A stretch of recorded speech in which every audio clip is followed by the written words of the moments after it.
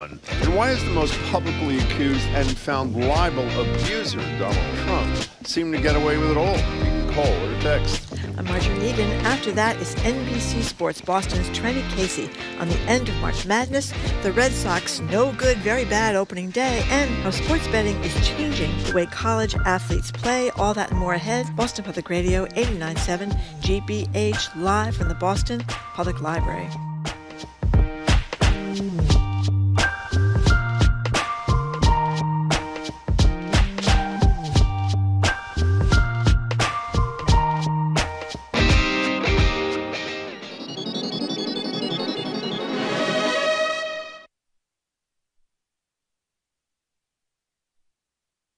Live from NPR News in Washington, I'm Korva Coleman. President Biden has welcomed Japan's Prime Minister Fumio Kishida to the White House. The two will have a day of discussion before going to an official state dinner.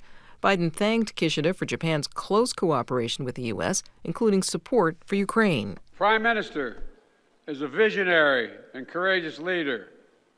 When Russia began its brutal invasion of Ukraine two years ago, he did not hesitate to condemn sanction, and isolate Russia and provide billions in assistance to Ukraine. But Biden and Kishida have differences. One of them is the takeover of the American company U.S. Steel by Japan's Nippon Steel.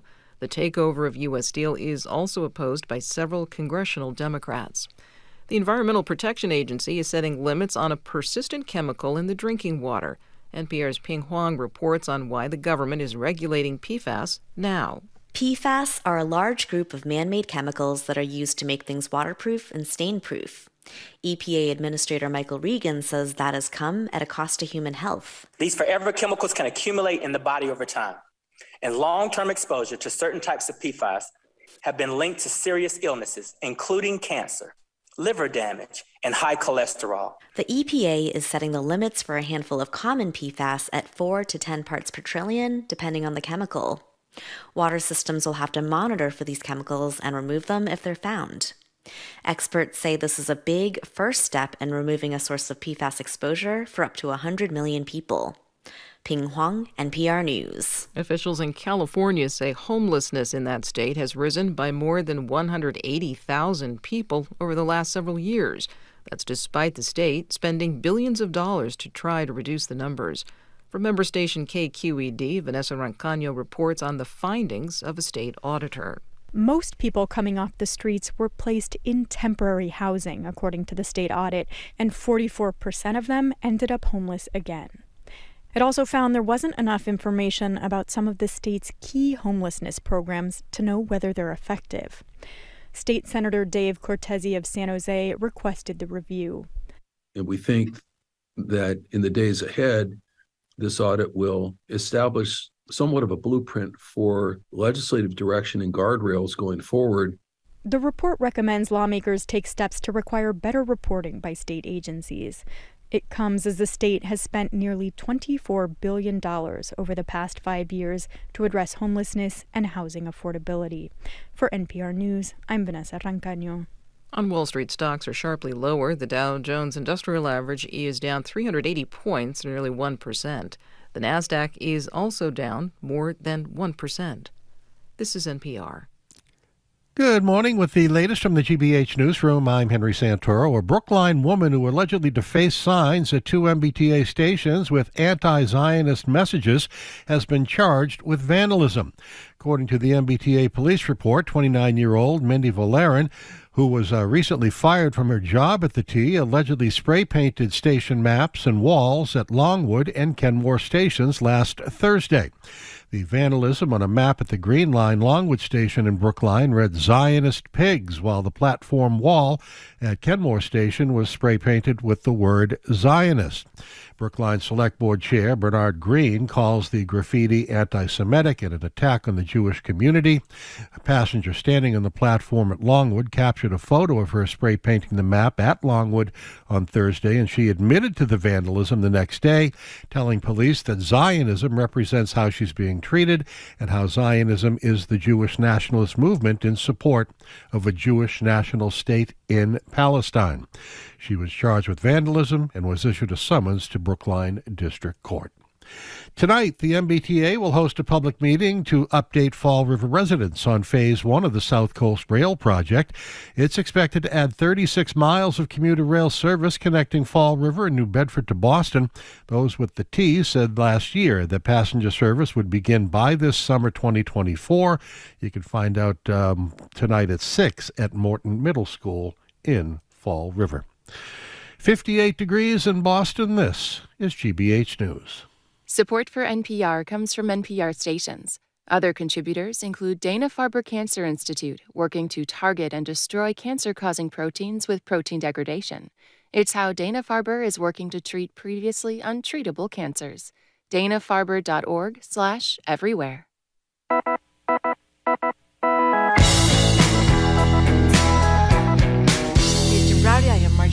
Eagan. Welcome to Boston Public Radio 89.7 GBH. We are broadcasting live at the Boston Public Library.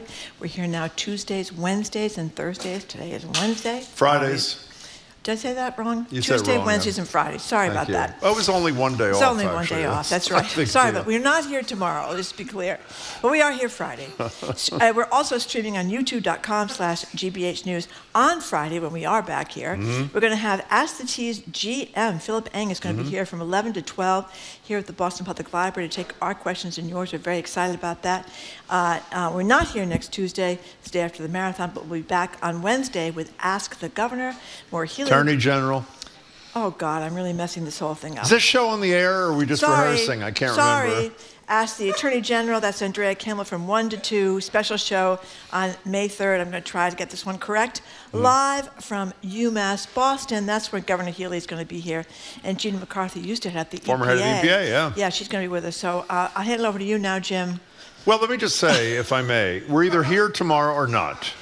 Uh, that's number one. It's one of the Yeah. two. I know that to be We're true. not here tomorrow. And next Wednesday, either the governor is joining Uh, us or the attorney general. Uh, one of the, the two. Attorney General. Attorney general. Yeah, Attorney See, General. I, let me just say, I'm coming to your defense. Uh-huh, thank you, You were not that far off. You're just one position in terms of constitutional officers, okay. and one day in terms of the uh, library. You have anything more to say? Or No, is that I it? think I- I think I you did enough. while yeah. Enough damage right Yeah, there. that's right. So seven years ago, Matt Lauer, remember the Today Show guy, was fired from NBC for allegations that he was a serial sexual harasser, abuser, and even a rapist. The allegations that cost him his job were serious. On one end, he gave a colleague a sex toy as a present and included an explicit note about how he wanted to use it on her.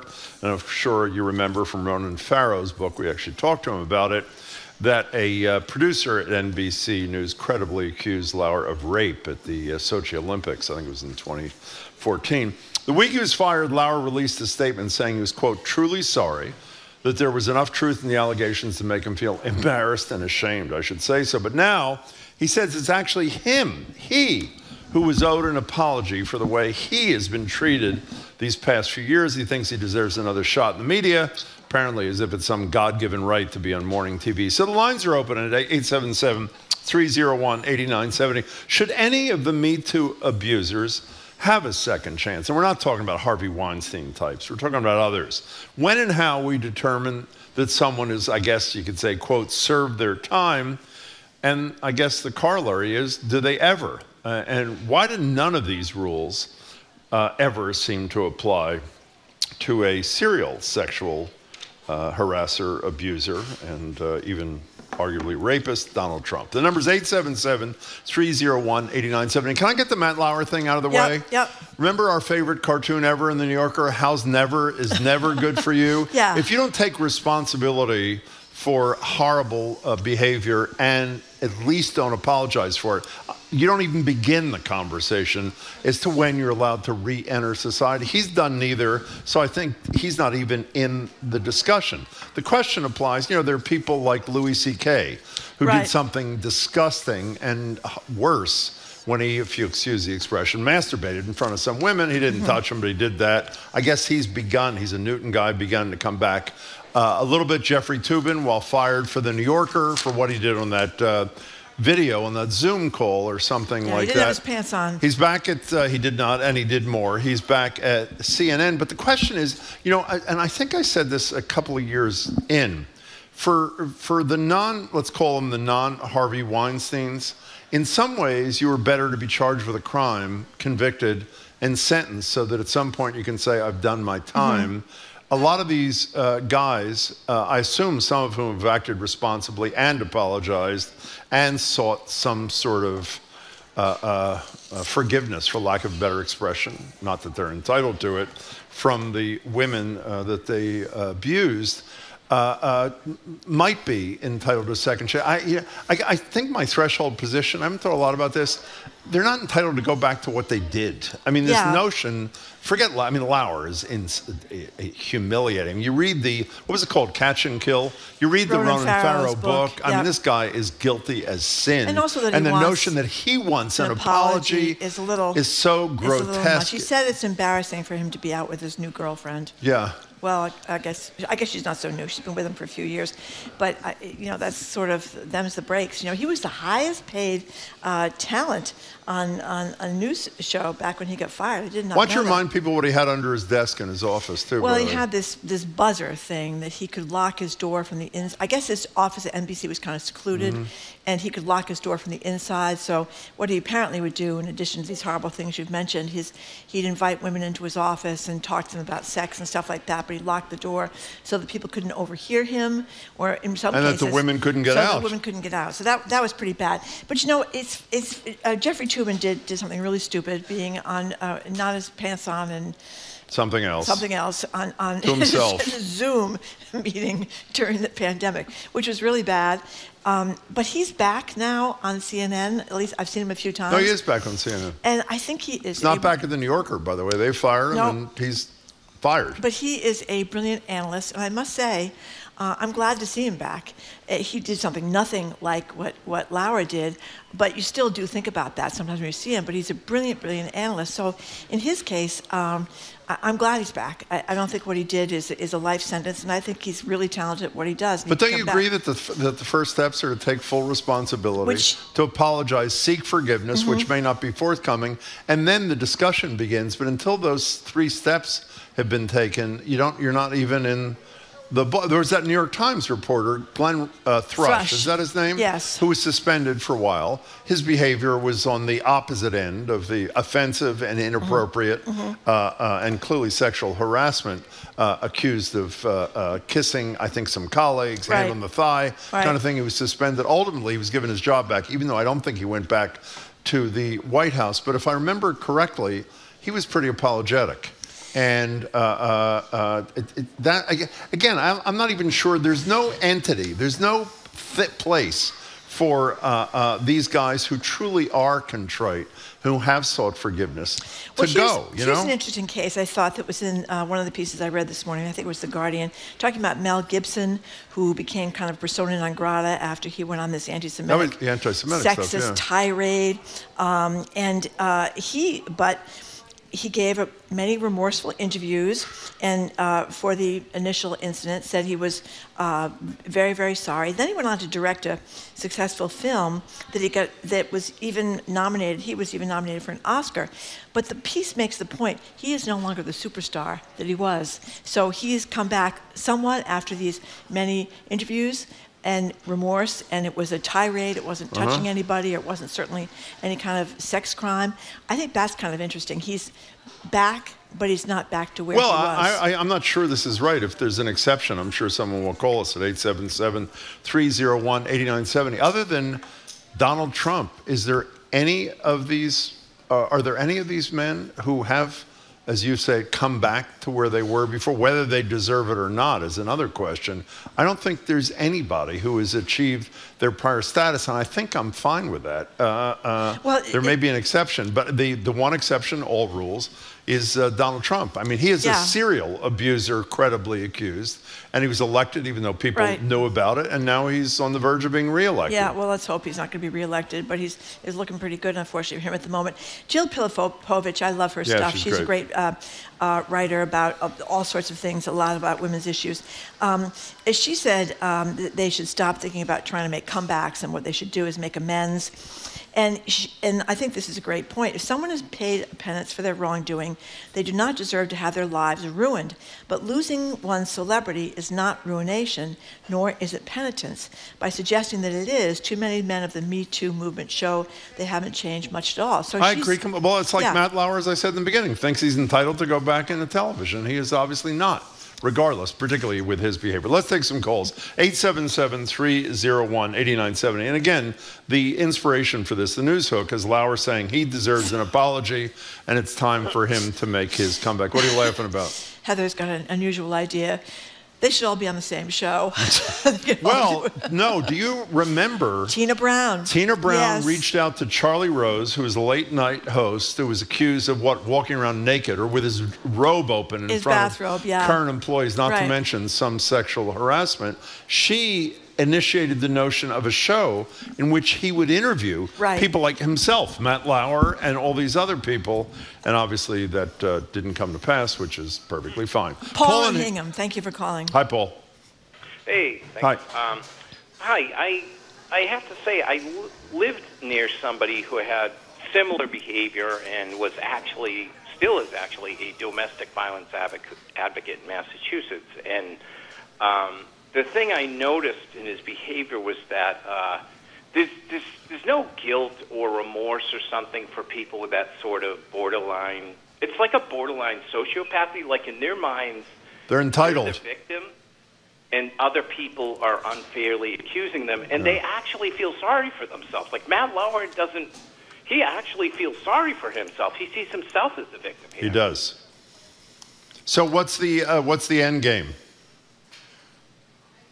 Uh, what's the end? game? I mean, for these- also, if you don't admit that there's any wrong or error, and, and unless you actually film doing it, then it's very easy to say oh, nothing happened, right? Uh, yeah. By the way, one example uh, I'm looking. Louis C.K. apologized. Says he was remorseful.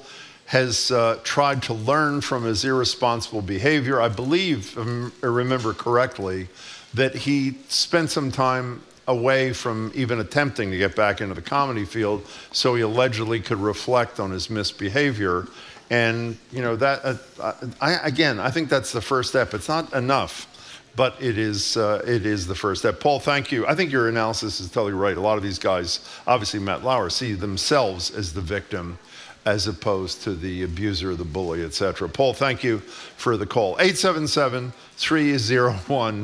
877-301-8970 is the number. Here's uh, uh, a, a bill from Portland, Maine. The one man I feel totally was, was steamrolled is former Senator Al Franken. His ouster from the Senate was far more severe than his childish behavior deserves. Senator Kirsten Gillibrand went for the jugular when it wasn't warranted. You know, that's a debatable one. If several people are mentioning. Why don't you describe um, what he Al- did for Al those who don't recall? Well, he, he, he, he used to be on Saturday Night Live, and then he was in the Senate. There was a picture of him when he was still working as a comedian, standing above a woman making a, like a Was she asleep at that point, Yeah, I think? Yeah. making like this gesture over her breast. He Yeah. wasn't touching her; he was making a gesture over her breast. It was pretty stupid and pretty obnoxious. But he was a comedian. Later on, he was also accused, maybe when he'd be posing for pictures with people, that he maybe had their his hand too close to them or something like that. Um, s- that that one is a little bit of a of a of a borderline case too. Um, I could, but it's tough. Are you going to go vote for the guy? I, I don't know. Well, the It's- answer it's that well, but you're broaching what a lot of people think is the appropriate thing, which is let the people of Minnesota decide if they're going to go vote for the guy. Yeah. You know, the, the, the, the, the comparison, and again, I'm not arguing that no discipline was appropriate. The de- fellow Democrats, led by Senator Gillibrand, Mm-hmm. did force Franken out of the Senate, and some people may think it's fine. It's fine if you don't think that it's fine. And yet, a totally different set of rules uh, uh, apply to the Republican Party, even after a jury, a court finds that uh, E. Jean Carroll was sexually abused by uh, Donald Trump. Well, from Melrose is pointing out, um, Ted, you're taking you to task. A lot of people have done this before, Jim, about Ted Kennedy, the model for no term limits. And a it's lot of people horrible think- what he did, obviously. Eh, But you know something? That was a time, not, I mean, I, I do believe he left a woman in that car to die, and that was absolutely horrible. But that was a time when men get away with anything regarding young women. Well, I mean, not that. was- that was not just the case of uh, uh, inappropriate sexual behavior. Well, I just said That- oh, he left her in a car to yeah, die. exactly. So that was that was not inappropriate sexual behavior, but obviously uh, there was a lot of inappropriate sexual behavior that was known about that people got away with. I mean, the press knew about the most famous cases is JFK. The uh, you know Ben Bradlee Sr. used to ha- had the Washington Post. He knew what Kennedy was doing, and in those You days didn't report on those were- things That's then. exactly right. And Dan from Melrose also men- mentions Bill Clinton at Biden's fundraiser last week. Now, Bill Clinton, he's in kind of a gray area. I mean, I think he well, last election cycle, he was invited, to my recollection, to not speak. He was not invited to speak at any uh, Democratic uh, uh, elected uh, Democratic uh, candidate seeking election to the House or Senate because essentially he was in disgrace, But- and he was propped up a little bit a few weeks ago by Joe Biden at that Radio uh, City thing. But remember when we were at the convention with Barack Obama? I do indeed. who, who spoke at that convention? Yeah. Bill Clinton. I mean, he was like a rock star at, at that uh, convention. So it, it's, I don't know if it's because people like him or people think he. It, I think he's had a fall from grace. Too I- far with with um, Well, you, I. I think he's credibly accused of rape, don't Oh, you? oh, absolutely. Juanita Broaddrick. Okay, absolutely. exactly. And, and you know, people always throw that at us about about uh, Trump. We did not know about Juanita. Well, Juanita Broaddrick knew about Juanita Yeah. Broaddrick, but the rest We of the didn't, country that's did correct. not know about Juanita Broaddrick when Bill Clinton was elected. They knew about Gennifer Flowers. They knew he was having an affair uh, with a lounge singer, as we used to call her, and that Hillary was questioned about it by 60 Minutes and said she was not just standing by her man Yeah. like Tammy uh, Wynette. Al from Rhode Island, what do you think, Al? Hey, Al. Hi. Hi. Uh, long time uh, listener. Second time that I'm in to talk to you. Thank you very much for calling. What I wanted to uh, what I wanted to say, I I have treated men convicted of sex offenses. Oh. I researched them. I evaluated them, and I can say that you know everybody deserves second chances, but they have to not only apologize, be remorseful, and make amends, but truly understand the impact of their behavior Exactly. and where it came from. Like Matt Lauer, uh, he, you know, he may apologize, but he's not addressing the issues of entitlement, of power, uh, everything that went into his behavior. And unfortunately, we're raising our boys uh, in a way that they want this power, they want this masculinity, and they're sexually aggressive early on. I have a 15 year old daughter. A number of her friends have been sexually assaulted, you know, by other 15 year olds. It's really a problem. Yeah, um, Al, thank you. Well, don't go away, Al, since you're an expert in the field. What should we be doing with young people? I, I've mentioned this before on the air. When I was a city councilor in Cambridge for one term, I went to an event at Cambridge the high school in Cambridge, and I really didn't want to go, but I felt I had to go or I'd be embarrassed as a city councilor not showing up. And it was one of the best things I ever went to. It was a program called STARS. I think it was S T A R Z.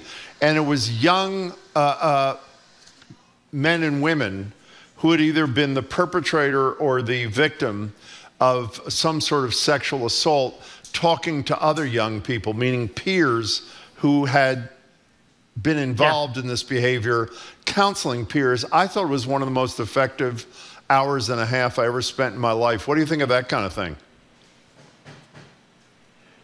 Uh, that can be helpful. Uh, ideally, we, we, we start before any of this comes up. You know, having possible, possible, uh, positive male role models Yeah. uh, in the media. I mean, th- things like Ted Lasso, a man who is emotional, who is vulnerable, uh, who is in touch with their emotions. I mean, at least eventually. I mean, we need much more of that, and uh, and also gender equity. In, in societies that are that have much more gender equity, there is no aggression towards women. Hey, Al, you're a fabulous caller. I hope you make your third call soon. That was terrific, and we really appreciate your spending time with us. Thanks so much. 877 301 8970. Okay, we're talking about the, the idea of these Me Too abusers are trying to come back uh, into the mainstream or even go back to the positions they used to have. That was apparently what Matt Lauer thinks should be happening to him. After he gets an apology. Yeah, should they, right, should they have a life, a life sentence? When and how do we determine if someone has been rehabilitated and isn't a risk for further abuse and deserves a second chance? And why do none of these rules seem to apply to Donald Trump? The number is 877 301 8970. You're listening to Boston Public Radio, streaming uh, on youtube.com slash GBH News and at the Boston Public Library live.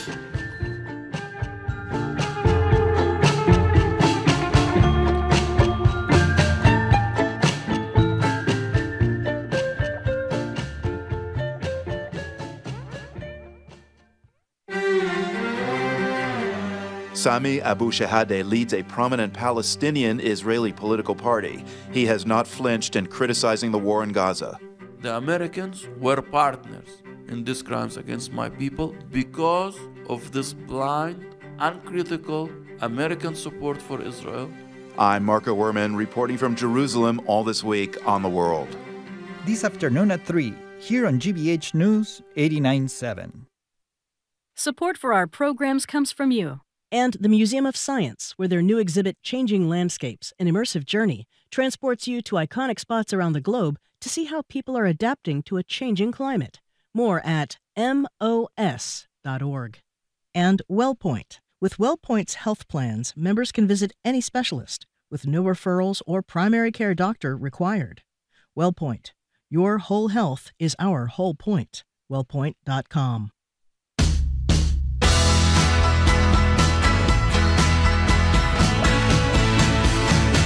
Welcome back to Boston Public Radio. We're live at the Boston Public Library. Jim Braude, Margery Eagan, streaming online at youtube.com slash GBH News. We are back again on Friday. Phil Eng is kind enough to join us for an hour. He's the general manager of the T to take our questions and most importantly, yours from riders and would-be riders. And we're not here next Tuesday because of some marathon cleanup. And then we'll be back on Wednesday with the Attorney General, Andrea Campbell, from 1 to 2. If you're just tuning in, our conversation was inspired by reading that Matt Lauer, former host of the Today Show, credibly accused of sexual harassment, sexual abuse, even rape, once back in uh, to the media. And he not only wants back in, but he wants an apology. I think most of us think uh, he should not be back in. And he should be the one who figures out to apologize to others, which is not nearly enough. But I want to say one thing before we get back to the calls and you, Margery, at 877 301 897. I wish I'd thought of this uh, while Al was on the phone. I didn't until the break. He's talking about how we need good male role models, the Ted Lassos of the world. Who's the highest profile role model that we have in this country? Uh, Donald Trump. Donald Trump.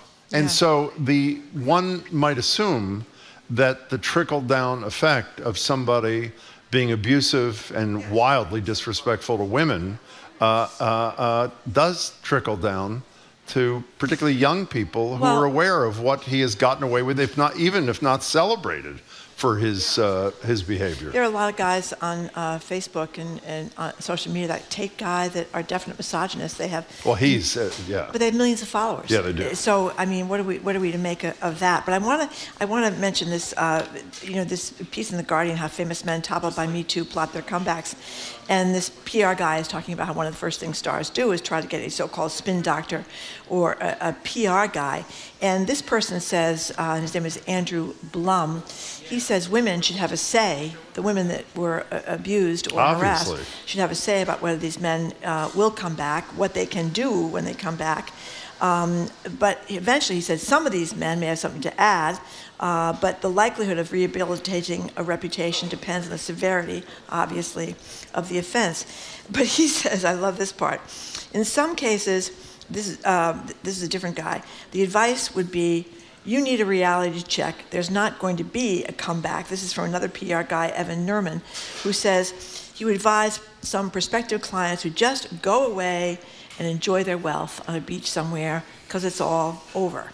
And uh, I think that's I'm with that. That's pretty good. Let's go to Nicole in Rhode Island. You're next on Boston Public Radio. Thank you much for calling. Hi, Nicole. Hi, Jim and Margery. Can you hear me? We yep. can. Thank you much for calling. Okay, wonderful. I think, firstly, I would just like to address that society, not just men, feel as though they should have unfettered access towards women's bodies, to be able to comment on women's bodies. Margery, love you. But, um, you know, society does not feel like it has that ability and access to do to men. And what we've seen lately is when you tell men, hey, you can't just tell women to smile, um, why would they be angry about that? Why is there a difference in this access we feel like we should have to women that we don't feel like we should have to men? What's your answer to the question, Nicole? I'm sorry, say that to me What's again. your answer to your own question? I, I think we need to address that first because the behavior isn't going to get any better until we acknowledge the fact that historically we have felt access to women's sexuality, towards their kindness, towards their work. Toward their, towards their reproduction Well, look at what's happening with in abortion. Arizona, yeah. Yeah. Nicole, we're Although losing you. Thank say, you for the call. We I, appreciate I, I it. got to say, I, I, I am an equal, uh, equal opportunity. I come in a lot of men's. You do. uh, You do. so across the board. I mean, if somebody is really handsome, I can't. But you're an outlier. I think Nicole makes a very good point, though, about the, obviously the clear double standard, don't you think? Well, I think women are just as much interested in, in men's bodies as men are interested in No, but in they don't feel they bodies. have- But they don't have the ownership. How many They women have said what Donald Trump said, getting off that bus with what's his name, that Bush kid? Yeah, uh, nobody. Nobody. Nobody. Nobody. nobody Billy Bush, thank you. Nobody, but I, and, and it's obvious, but I'll point it out anyway, that if men across America were facing uh, near death before they could get medical help for a, we're going to play this clip from a woman who had a miscarriage and couldn't get help with that miscarriage. Mhm. And what they do when you have a miscarriage is a D&C, which is the same Mhm. thing as an abortion, but she couldn't get that D&C until she almost died from sepsis, and she may not be able to have children because the infection was so Mhm. bad. Can you imagine men if we said, well, you know, we, ha- we have to wait till you're close to death before we can intervene and, and help you? I mean, that would never, ever happen in America. So that's the most blatant example we have. Bob in the car, thank you for calling. Hello, Bob. Hey guys, um, yeah. So I'll just start by saying, well, I'm hearing an echo of myself, but I guess I'll ignore it. You're fine on this end. Go ahead. Okay, sorry. It's so okay. if you have if you have multiple accusers, uh, absolutely, you know, if you then you know maybe you should be doing jail time like Harvey Weinstein or Bill Cosby, right? But the, the one I want to focus on is Woody Allen. Mm-hmm. He has one accuser. Now, it's a very, very serious accusation, as you guys well know, but he has denied it vehemently. He was never charged for a crime. I won't get into the details because most people are familiar with it. And yet, he got totally roped in to this whole Me Too movement to the point where he lost this very lucrative deal with Amazon Prime. Most major stars will not work with him anymore, and he can only make movies overseas. He can't make movies in the Yeah, States he anymore. actually- He's but- one of the greatest filmmakers of Yeah. all time. Yeah. And, and by the way, can I say one last Sure, thing? of course you can. You know who I blame for this? You know who I blame for this? And Uh, sorry, because I know he's beloved, is Ronan Farrow more than anybody. Well, Ronan Farrow uh, uh, obviously strongly believes it's Dylan Farrow, uh, uh, right? Is that? The- is it- yes. Yeah, Dylan, who's the accuser, Right. the daughter. A couple things. Uh, Woody Allen just made his 50th film in France, I guess, making your point. He has to make them overseas. He's the penalty, for lack of a better expression, has been voluntarily exacted by distributors who don't want to distribute his films. They've made their decision uh, actors who don't want to play in his films anymore, but there are obviously some who are fine working with him. So, where's the injustice if people, based upon the facts as they saw them, made their judgment as to whether or not he was a guilty party? Some said no, some said yes, and that's the end of the story. He isn't facing criminal prosecution. What's troubling about that, Bob? Well, what, what, yes, what's troubling about it, and I would love to have you guys address, isn't one accuser different than multiple accusers? Of course it is, but Yes. they, but the notion that, with all due respect, Bob, the notion that one accuser is not enough is, which is what seems you seem to be saying, is uh, a real problem because then the message is, if you're a male who wants to abuse uh, women, just make sure you do it when nobody else is around. So of course. It's better to have, uh, well, it's not better to have more victims. It's better to have more witnesses. But uh, uh, your underlying point, Bob, is one that I don't find compelling, but we do appreciate your call. Thank but you, know what we should point out, though? Manhattan, uh, the Woody Allen film that was about his having a romance Oh, as a 40 something year old man with a high school kid. Margot Hemingway? It was a Hemingway kid, yeah. right?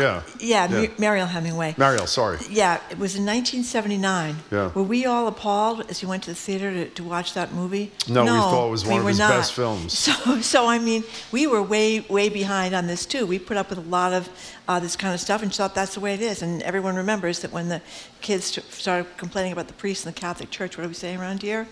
They're making it up to make money from the Catholic Church. So we, we don't believe sexual abusers um, still today. And look at people that vote for Donald Trump probably don't believe the women, all those 24 of them that have accused him, including E. Jean Carroll. They Mhm. probably think she's Sadly, I think you're right. Anyway, coming up after a quick break, we're going to talk with NBC Sports Boston's Trenni Casey.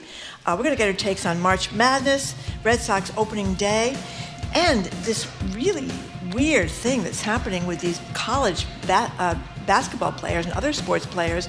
Now that people are betting on these games, if the players uh, ruin the, the betters' uh, spread or cause them to lose money in the game, they're getting they're getting attacked on their phones. You're listening to Boston Public Radio 89.7 GBH. We're broadcasting live from the Boston Public Library and streaming on youtube.com slash GBH News.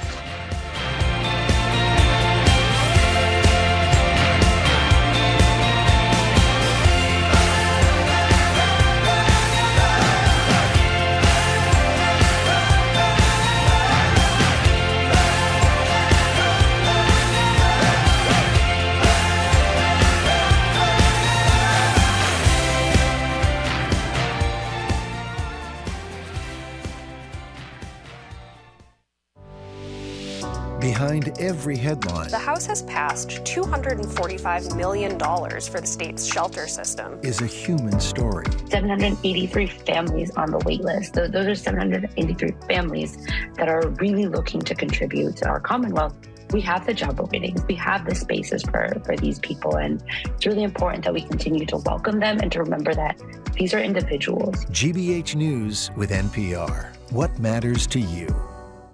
Support for GBH comes from you and Safety Insurance, offering auto insurance policies designed to help for when the worst happens. You can ask an independent agent about safety insurance. Safety Insurance. We'll help you manage life's storms. And Atlantic Design Center by Eldridge Lumber and Hardware, committed to helping you achieve your vision for a new kitchen or bathroom and guiding you from design to completion, with showrooms in York and Portland, Maine. AtlanticDesignCTR.com.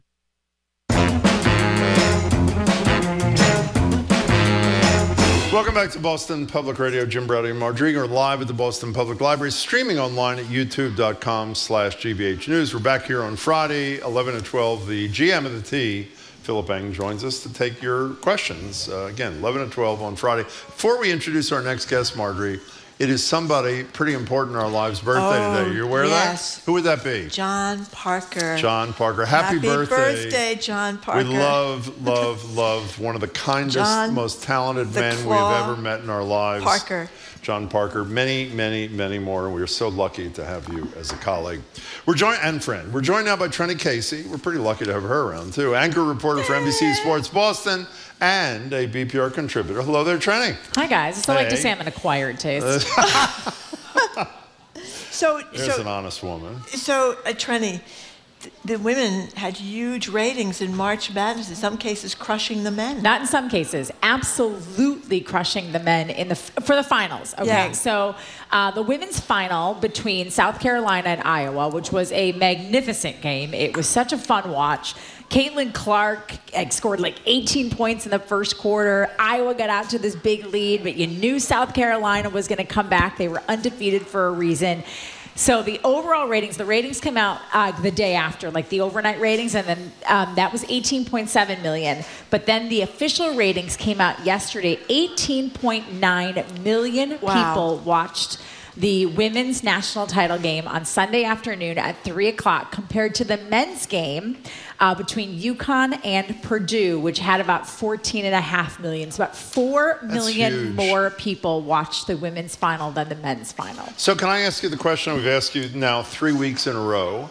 And see if we get a different answer. Will it will it carry will it, over? Will it carry over? I mean, Caitlin Clark. Is, there were a lot. Margery and I are talking about all the great women players. I mean, we could both name a half a dozen who were brilliant, but Caitlin Clark, was the Yeah. superstar who got everybody engaged. So this is why, and this is a, a case I made Monday on my show, um, or Tuesday, I think, after the national title game, um, on, on our Bella Early Edition. The case that I made for this lasting is that you know because people have said, oh well, you've had Sue Bird and Diana Taurasi and Rebecca Lobo, like um, Chamique Holdsclaw, uh, Brianna Griner, like you've had all of these, Brittany Griner, excuse me, you've had all of these unbelievable basketball players and talented basketball players before who have then gone on to the NBA, uh, WNBA, and it hasn't had the same trickle down effect. And I said the one difference though is that these women, the Caitlin Clarks, the Juju Watkins, the Angel Reeses, Flau'jae Johnson, uh, Cameron Brink from um, from Stanford. First of all, there's a number of people I can mention there. There's not just one name in Caitlin Clark, though she was the biggest. But they aren't just on the basketball court. You're seeing them in Yeah. advertisements. That's a very good point. So you're seeing them point. in the same way, like you know how you know. Patrick Mahomes, he becomes a household name. One, because he's so good at football, but two, because every time you turn on the TV, whether he it's a State yeah. Farm commercial or a Gatorade commercial or Nike or New Balance or whatever it is, Adidas, there is their face That's and their really good name. Oh, and, and now with name, image, and likeness, which is why I'm such a fan of the NIL rule is it really helps boost, I think, a lot of women's sports, in particular women's basketball. And I think people tuned in and were like, oh, this isn't this isn't just okay. Like this is a great product, and in some cases, it's better than the men's product. I think where they're going to have a little bit. I I think the men's college pro- product has this issue as well. Like, can you name like other than Zach Edey from Purdue? Can you name somebody from men's from the men's double NCAA tournament? Clingan. No. Right, Oh, right. right, the Donovan center Clingan, the center for Connecticut. Connecticut. Impressive. Donovan Clingan, the 7-2 center for. Okay, so those two guys, and they were in the finals. Right. Like I could name a bunch off Marquette because I'm a Marquette fan, but like I don't watch. I'm not going to watch a lot of men's college basketball during the regular season any more than I'm probably going to watch a women's game. But if there's a star to watch, and if next year I find out that you know i- if you know, Juju Watkins stays at USC and Flau'jae Johnson stays at LSU, and they've got a big game and a big matchup. I might tune in just to watch those players when I don't know who's coming up for the men's team because they're one and done. That's and deal, so too. I think that that is going to help draw interest already too. If you're, I don't know if you guys saw these stories that have sort of trickled in, um, but we somebody at our office, I think it was um, Adam Hart, happened to look at um, WNBA ticket prices for like a regular game and then a game where Caitlin Clark is coming. And the ticket prices are are You mean like for this three next For this season? next season, 'Cause she's gonna be with the- Indiana, She's gonna, right? yeah, she's gonna go to Indiana. Yeah. Um, she's gonna be the she's the prohibitive nu- number one overall pick. So what's happening in the like ticket price? it's like 90 bucks for a regular game and 350 when Is she that really plays. true? So Oh people, my it's- It's, already, and again, I think part of any the popularity of any sport, and this is also an argument I made the other day on my show, is that it takes time. And I know it's frustrating as a woman because we're so far behind, right? Like think about it. The Boston Marathon is taking place on Monday. Was it Bobbi Gibb who was the first woman? Yeah, we've had her on the show. She's the fabulous. first woman to run, and she had to run incognito. No, she was. Oh, she was. That's Yes. right. And Yes, Kathy yeah, right, yeah. Schroeder or something? Ca- that was no, Switzer. one got Switzer. Kathrine Switzer. Switzer. Got I think pulled. Catherine, oh, it was Kathrine Switzer, I think, who was like pushed Pulled out. off. And yes, and then like finally got a number the year later. Like we're talking about, and what that was in the 60s, if I, It's the late 60s. We late 60s, early up. 70s. So we're talking what 40, 50 years ago, and they didn't even think women could run 26.2 miles because they thought it would hurt their body. So at, if you look at some of the other professional sports that are wildly popular now, in particular the NFL and NBA, it took those leagues decades to become popular the way they are now. The NFL started in 1920. They didn't have their first Super Bowl till 1967.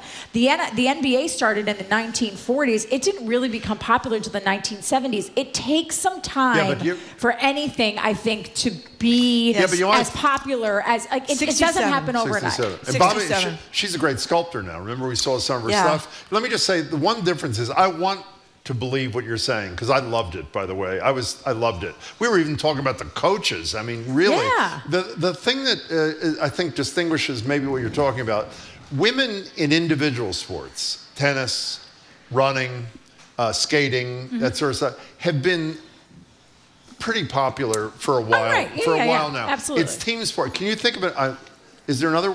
Oh, the well, the soccer teams. women's I guess soccer, in Olympics. yeah, like U.S. the U.S. women's national right. team. Yeah, you're right. um, I, listen, if the product is good, people will Yeah, watch. you're But right. that's the And I other think- thing. and- is how when you look at these women's teams now, you just go, "Oh my God, these women are unbelievable! The dribbling, the ball handling, the passing. I mean, they're just great." And of course, Clark, as everybody said, you were like your jaw was on the floor watching her hit those three pointers from like what three feet beyond the, the, The arc, circle yeah. there. Yeah. I, so I think that's got a lot to do with it too, because they didn't used to look like this. Well, I also, think. I don't think you got your best athletes. One, for a long time, women weren't seen as being like when I even when I was in high school, and I graduated from high school in 1995, so it wasn't even you know be 30 years next year. My goodness, um, but I didn't I didn't want to be an athlete. I wanted to be a cheerleader, Cheerleader. or a pom pom girl Yeah. because that's like when you turn when you Pom-pom watched a movie, and that's what I was. I was captain of my pom pom squad. When you watched a movie, the cool kids Were cheerleaders, cheerleaders and dancers. They weren't athletes. Now the cool kids are athletes. Like a lot of my friends who have young girls were talking about how they were so enthralled and they wanted to go out and play basketball after this. What's happened with soccer? Since 1999 and Brandi Chastain, soccer has exploded among women. So what happens then is you get your best athletes going, into those sports. Yeah. Just like in men's sports, like you don't- baseball is on the decline because your best athletes now go into basketball and football where the money is. They don't go into soccer. It's why soccer isn't big in the United States when it's big internationally. It's all about the talent and the athletes and the stars. And if they have that, then they have the momentum to become just as big as any men's sport. I Okay, think. so let's talk about the other end of the spectrum, which is so depressing. There's this story in the Athletic Oh, about how uh, uh, people, because of gambling, which I think now is legal in 38 states in D.C. or something like that. Let me read you some of the uh, texts or tweets, I guess, that uh, players who uh, played at the end of a game, usually people on benches, who blew the spread, meaning someone bet that uh, X university was going to win by 25 points. Right. And this bench warmer came in and hit a three pointer, and they only won by 24 points. Uh, here's this You're a son of a bee. Hope you enjoy selling cars for the rest of your life. That's nothing. I hope you effing die. Kill yourself for taking that three, you effing worthless loser. S- Slit your effing throat, and on and on and on. Yeah. Like that. What do you do about this? I mean, they've talked. Uh, Charlie Baker mean- actually has talked about urging Congress and state legislatures to outlaw certain kinds of bets. Yeah. But this kind of bet about who wins And is Yeah, you unavoidable. And mentioning that Zach Edey guy, he said he gets them all. Oh, yeah, got- Zach got Edey, right, entire yeah. career, big star. Yeah. Gabby Marshall um, said that, and this uh, this is the parallel I'm going to draw. This has been happening. It just hasn't happened in, ti- like tied to gambling. Like guys who miss, miss kicks for teams, miss a uh, a field goal for a football team, get death threats all the time. You know, people who miss a game-winning shot get death threats all the time. People are psycho on Twitter. Like they are not like. I- I always try to tell people it's, and I try to tell young people this, and I sound like Mike Felger. Get off the internet. Get off the internet. You do not need to be on all of these social media platforms. I, I suppose now it is used as, as a tool of, uh, you, you can monetize it.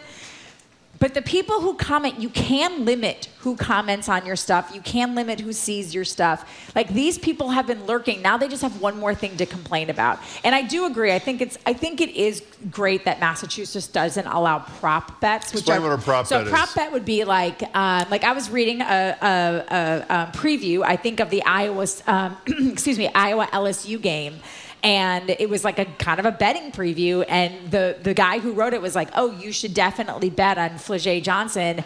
She's um, like plus 250 to score two like 15 and a half points. I couldn't bet on that in massachusetts because i was betting on an individual player. So i couldn't bet her to score more than 15 and a half points So even though i Massachusetts would have doesn't allow won prop bets they don't let- college? they do not allow prop I bets in didn't know college that. That's Uh, good. That's uh, massachusetts doesn't allow prop bets on Several college other states don't either. and they don't allow you to bet on your own team. And listen, I'm not saying that this is right in any way, but it doesn't. People, those gross, disgusting humans who are like basement dwellers, are everywhere. And it doesn't matter what happens in a game, whether you're college. I mean, this happens to high school kids, right? Like high school kids get trolled online if they don't win a game I for know. like the sad guy who hasn't. No offense if you've never left your hometown. I'm sure your hometown's great, but like if you're still wrapped up in like your high school football team's outcome, like you're a loser. Like knock it off. And these are kids. Leave Bruce them alone. Springsteen wrote a song about that. Yeah. he did. Glory Days? Glory Days. I love Yes, Glory. Days. I think we- I'm getting We used to to the sing point we that should college make karaoke all the time. Everybody sign their name. You just sign your It's- name. Yeah, it's Wouldn't just That'd be great? Well, that's what Dan Kennedy did I with know. on Media Nation with his comments. It reduced the numbers, but it obviously decreased the uh, The- per- yeah, venality. exa- Can we go and, to and people don't want to participate in that. Okay, It's- opening day yesterday. And I was, as I was telling Margery, I was on my phone with one of my many doctors as I was driving to work this morning. And he was at opening day with his wife. I won't say his name because I didn't get his permission. Nice day. And as beautiful as it was that they not only honored uh, um, uh, uh, Tim, Wakefield Tim Wakefield. and Stacy Wakefield, his wife, who both died of cancer in a very short period of time. Larry Lucchino And he as was well. not only a great pitcher, but he and she both deeply involved in the community in really serious ways. Larry Lucchino, former president of the team, who just died. They bring back the team that broke the curse Yes. 20 years ago in Yes. 2004, except for Curt Schilling, who uh, refused to come, which I think was wise. And uh, I'm told, uh, what's his name? Derek Lowe was very Derek. What did he do? Oh, well, Derek Lowe is a is a pitcher on that uh, that didn't come? 04 team. You know, he came and he was asked, and he was very candid about uh, how they felt about Curt Schilling not coming. And he said he thought it was in his best interest that he didn't come, that it would take away. He said, but more importantly, as the night went on, I couldn't. They basically they couldn't guarantee that somebody wouldn't punch him in the face. Well, by the way, did. the issue was that, Yeah, that was the issue was not his racism Yeah. or his, No, his pro. all of his other it was that he terrible outed, attributes. he outed the cancer Yes.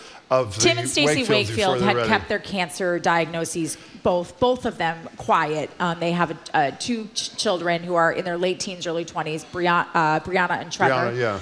Um, she threw out the first pitch. She threw out the first pitch, and they had asked everyone who knew, and everyone knew they were sick, but they asked them to keep it to themselves. And then Curt Schilling, the lowest of the low, went on his podcast and told everybody that they were sick. And then Tim Wakefield like died three days later. You know, but the thing that this doctor of mine said, and I, I assume he was there, is they had 40 players roughly from that incredible team that, quote, broke the curse after 86 years. He said they never introduced the players by name, the individuals. Is that true? So I, I was taping something uh, for uh, for air. Like I had to tape something Uh. until like 2:15. So I actually didn't see the entirety of the opening ceremony. That wouldn't surprise me. That's a lot of guys. Here's listen. I understand why they want to honor the 04 team. It's been 20 years. I question right from the start why do it on opening ah, it's day? ridiculous. I Because you're going to have everybody there on opening day anyway. And then so John Tomase, our really great Red Sox beat writer, was great. there and he said it just was like a weird vibe because it was like they tried to put too much into this is like so the Red Sox. They just can't get anything right these days. It was too much in a pregame ceremony, like especially after the passing of Tim and Stacy.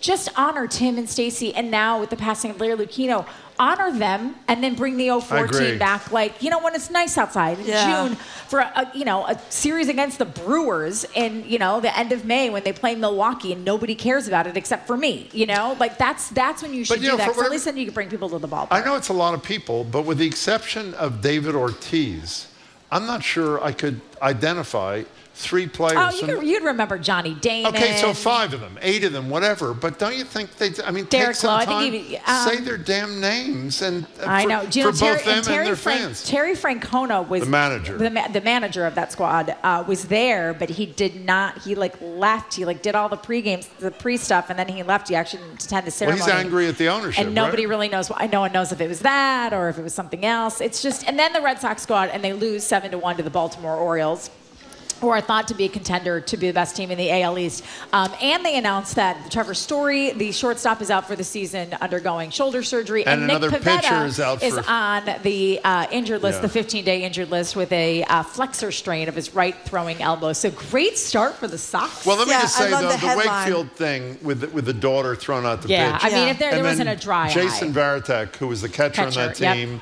Team, who has been, I guess, a de facto parent. He and his wife. Yes, they- to they're very these close to the kids, Wakefields, Goes yes. out and hugs her on the mat. I mean, Yeah. really was incredibly Yeah. moving. It, that it- was it moved even done. the hardest hearts in our Yeah. sports department Is that yesterday. so? Yes. Who's Well- the hardest heart in your sports department? Oh, my producer Jeff Capitasto. Like he didn't, like he didn't even like. Uh, I love him to death, and he's like the best dad, and he like loves dogs. But man, there are just some things like he hates Ted Lasso. Like who hates Ted Lasso? I thought the headline on your colleague John Tomase's piece What that was was great. Red Sox home opener wasn't just disastrous; it hints at disasters to come. Oh, they're they're going to be so bad. I mean, it's just it's, it's. Somebody said today. I think I was I think I was watching the early sports shows, and they said Mark April 10th or April 9th, 2024 is the day the Red Sox die. Hey, let's let's talk about Lucchino for a minute. And of course, people know he was uh, part of the the trio with uh, John Werner and John Henry. Um, things, Tom Werner. Tom Warner, Tom John Werner. Henry, Sorry. Henry. That's Did things seem to go south more after he left? It seems like Yes. So in large part because he was someone who wasn't afraid of John Henry. Yeah. And I think now other people like he would say to him, "No, we have to we have to sign this guy. We have to bring this guy in. We have to do this improvement. We have to, you know, make this roster move. It, it might cost us now, but it's going to have long-term positive ramifications." And really since he stepped away in 2015, sure they won they did win of course the World Series in 2018. Um, but since then, they've had a lot of last place finishes. I'm trying to think. I think they were last place in 20, Three out of four. Three out of four um, years they've been in last place.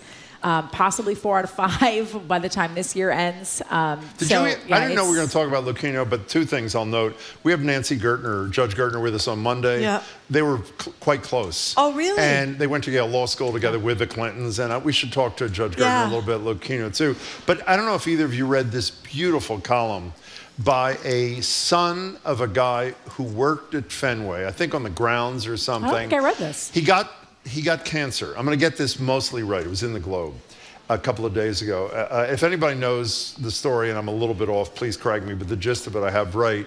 He gets cancer. The family can't afford to take him to the facility that is most able to treat it.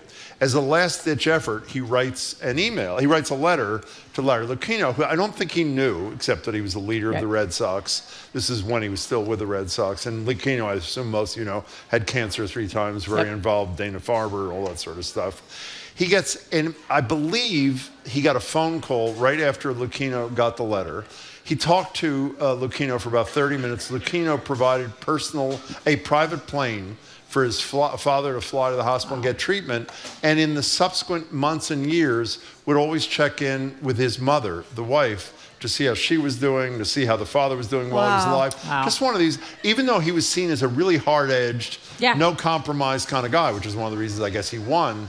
There was a side to him that is really doesn't get spoken about much, which is pretty beautiful, actually. I'll have to find that out. I did It not was in the see Globe that. two or three days ago. It was really great. that. That's yeah. great. Well, I told you the story about going to the Red Sox game. Oh, when tell we this got- story. This yeah, is great. We get tickets from, from Mike Barnicle, who had the best seats going, and we're The sitting best. we're sitting down there in the owner's box. My kids were, were- you know, it was gr- it was great, and this other family's down there too. And I'm thinking, wow, you know, we were ch- chatting it up, and and we- they asked how we got there, and I told them, and I asked how they got there, and they told me that they were up in the very back.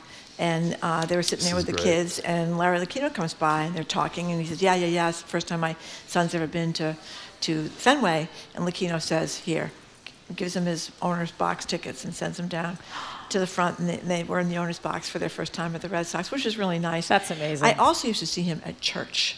Looking Oh. like a homeless person. I think he went there in disguise so people would know he was Larry Lucchino. I also think that like really rich people are really rich because they don't spend money on frivolous things like super fancy clothes. Yeah, well, he, he came in there looking like, you know, you wouldn't really talk to him, but, it, you know, a couple of days beard and stuff like that. So, Jamie anyway. found the piece. The piece was written by this guy, Chris Breen, B R E E N. He's from Danvers in the Globe. The headline was The Day Larry Lucchino Picked Up the Phone and Offered His uh, Help. I mean, it's a beautiful story. Chris Breen, B R E E N. Check it out.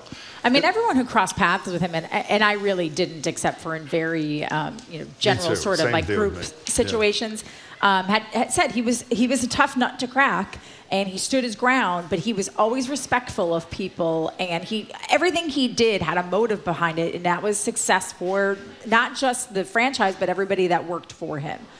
So. It's good to see you there, Trenni too. Casey. Thank you Take very care. much, Thanks Trenni so much for Casey. your time. Monday? Psyched for Monday? Uh, yeah. Oh, yeah. Are you running You this running? year? No. Okay. Oh, okay.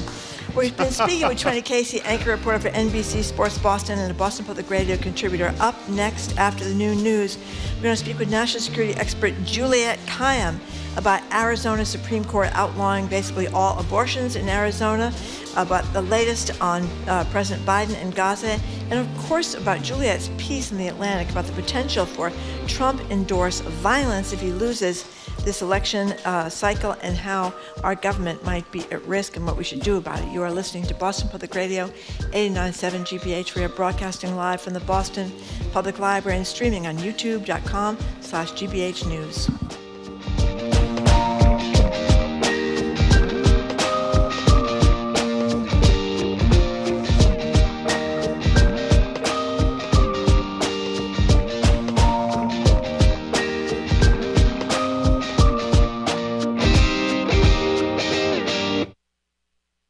It's not over yet. More smart conversation about community issues is up ahead with Jim Braude and Margery Eagan on Boston Public Radio. Right after a news update from NPR. Stay with us here on GBH 89.7. Funding for our programs comes from you. And Comcast Business, committed to keeping businesses up and running with Comcast Business Internet, with internet speeds up to 10 gigs available. Comcast Business, powering possibilities. Raptors rule the sky, but what makes these feathered top guns so special? Watch these magnificent birds of prey on the next Nature and catch raptors a fistful of daggers tonight at 8 on GBH2. I'm Abdul Nasir from Dorchester, and you and I are listening to 89.7 WGBH HD1 Boston online at gbhnews.org. GBH News with NPR, what matters to you. I'm Jim Braude, head on Boston Public Radio, live from the Boston Public Library. A day after Donald Trump said that abortion should be left to the states, one state, Arizona, went back to 1864 and a law that bans virtually all abortions. We'll talk to Juliette Kayyem about the impact. Then behavioral scientist Michael Norton has a new book about the power of rituals to improve our lives. We'll talk about relationship rituals in particular, then bring you into the conversation. I'm Margery Eagan. Then it's GBH News higher ed reporter Kirk Carapezza and the Hechinger Report's Jon Marcus on the new season of their podcast, College Uncovered. Everything you need to know to avoid financial ruin just to get a degree, plus naturalist Sy Montgomery on this summer's cicada infestation, why some indigenous leaders are trying to grant whales legal personhood, and how the animals of Hancock, New Hampshire responded to the eclipse. All that and more ahead, Boston Public Radio 89.7 GBH live from the Boston Public Library. Live from NPR News in Washington, I'm Lakshmi Singh. President Biden's hosting Fumio Kishida, the Prime Minister of Japan, one of the United States' closest allies. The alliance between Japan and the United States is the cornerstone of peace, security, prosperity in the, in the Indo Pacific and around the world. But Biden's come out against Japan's Nippon Steel's $15 billion bid to acquire U.S. Steel. The deal is raising concerns about economic ties between the allies. The Labor Department says that consumer inflation is running higher than expected in the United States. The consumer price index rose four tenths of a percent in March over what it was in February. NPR's Rafael Nam reports that could keep the Federal Reserve from cutting interest rates for now. Consumer prices rose 3.5% in March from a year ago. That was hotter than expected, and it's likely to have major implications for the Fed. The Fed had made clear it will not cut rates until it can see evidence inflation is easing more substantially. The central bank had previously projected it could cut rates three times this year. That may change now, given inflation is proving to be hotter than expected. The timing of any rate cuts is also very much up in the air. All in all, the data shows we'll have to live with higher inflation and higher interest rates for a little longer. Rafael Nam, NPR News. A new court ruling may intensify a push in Arizona to put a measure for greater abortion protections before voters in November. Yesterday, the Arizona Supreme Court ruled that an 1864 near total abortion ban on the books for the state is enforceable.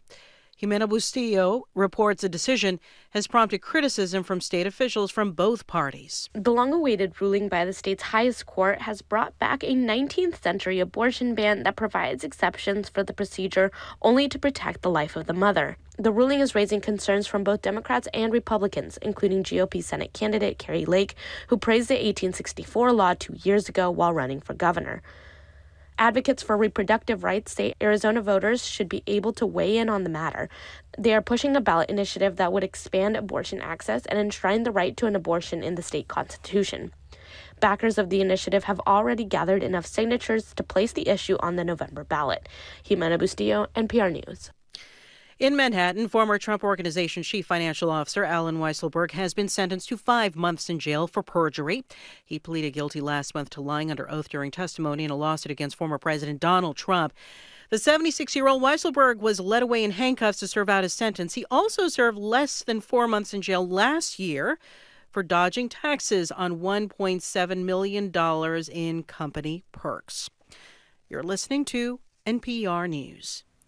Good afternoon. With the latest from the GBH newsroom, I'm Henry Santoro. The Wrentham School Committee is abandoning a, abandoning a proposal to ban teachers from displaying pride flags and other LGBTQ plus material in the district. Community members turned out in force to condemn the idea at last night's school committee meeting. Committee member Paul Lashway, who had, introduced the plan, he agreed to withdraw it in the face of pushback from residents and parents, but he defended his intentions. This policy was simply stating employees should not promote personal views on sensitive topics. So to suggest this was going to compromise human rights to suggest this was going to compromise inclusivity, safety, is a wild mischaracterization. Like many districts, the Wrentham schools already have a policy that prohibits teachers from engaging in direct political advocacy while on the job. The Mayflower 2 is set to embark from the Mystic Seaport back to Plymouth this morning. If weather and water conditions cooperate, the ship would have left at 10:30 this morning, and we have good word that it did. It'll travel nonstop through the Cape Cod Canal for around 20 to 25 hours, arriving at the State Pier at Pilgrim Memorial State Park in Plymouth sometime tomorrow. Should be going through the canal in the very early hours of tomorrow for anyone hoping to catch a glimpse of the tall ship during the journey. Her progress can be tracked on the Mayflower 2's website. In sports, Red Sox Baltimore play game two of their three game series tonight at Fenway. First pitch 710. This is GBH News. Support for NPR comes from NPR stations. Other contributors include Schwab, with Schwab investing themes like artificial intelligence, renewable energy, or pet passion. Over 40 themes to invest in.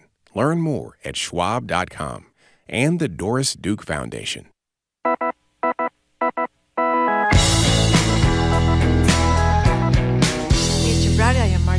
Eagan. Welcome to hour number two of Boston Public Radio. We are broadcasting live at the Boston Public Library, streaming online at youtube.com slash gbh news. Friday, uh, we're going to be joined by the T's General Manager, Phillip Eng. He's going to be here from 11 to noon to take your questions and ours here at the Boston Public Library. Uh, we are not here next Tuesday, but we'll be back on Wednesday. I'm going to get it right this time, Jim. It's going to be Ask the Attorney General. Andrea Campbell is going to be with us from 1 to 2. And we got a special show. We do? May 3rd, mm-hmm. live from UMass Boston. And we're going to be joined that day by Governor Maura Healey. Mm-hmm. So mm. very exciting, Jim. Here's a days. quiz for you, Margery. Mm-hmm. Can members of the public go to UMass Boston yes. to see our yes. show? Yes. Excellent answer. Yes, that is the can. correct answer. Yeah, we're very excited about And by the way, too. the former head, the chancellor there, the newly installed chancellor, is going to join us. That former head of the GP, uh, EPA, Gina McCarthy, who we are very fond of, will join us too. We're joined now at the desk by national security expert Juliette Kayyem. She's former assistant secretary for Homeland Security under President Obama, faculty chair of the Homeland Security Program at Harvard's Kennedy School of Government. The latest book is The Devil Never Sleeps Learning to Live in an Age of Disasters. Hello, Juliette. Hello. Hey there. Hello, Juliette Thank Kayyem. You all. Thank you very much for coming in.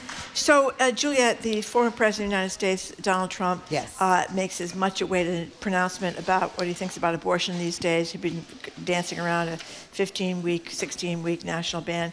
He says in fed, a federal ban, he, now he says we should leave it up to the states. And the day after he said leave it up to the states, one of those states, Arizona, decides that they're basically, the Supreme Court there, they're basically going to outlaw abortion. So, um, how's this going to play?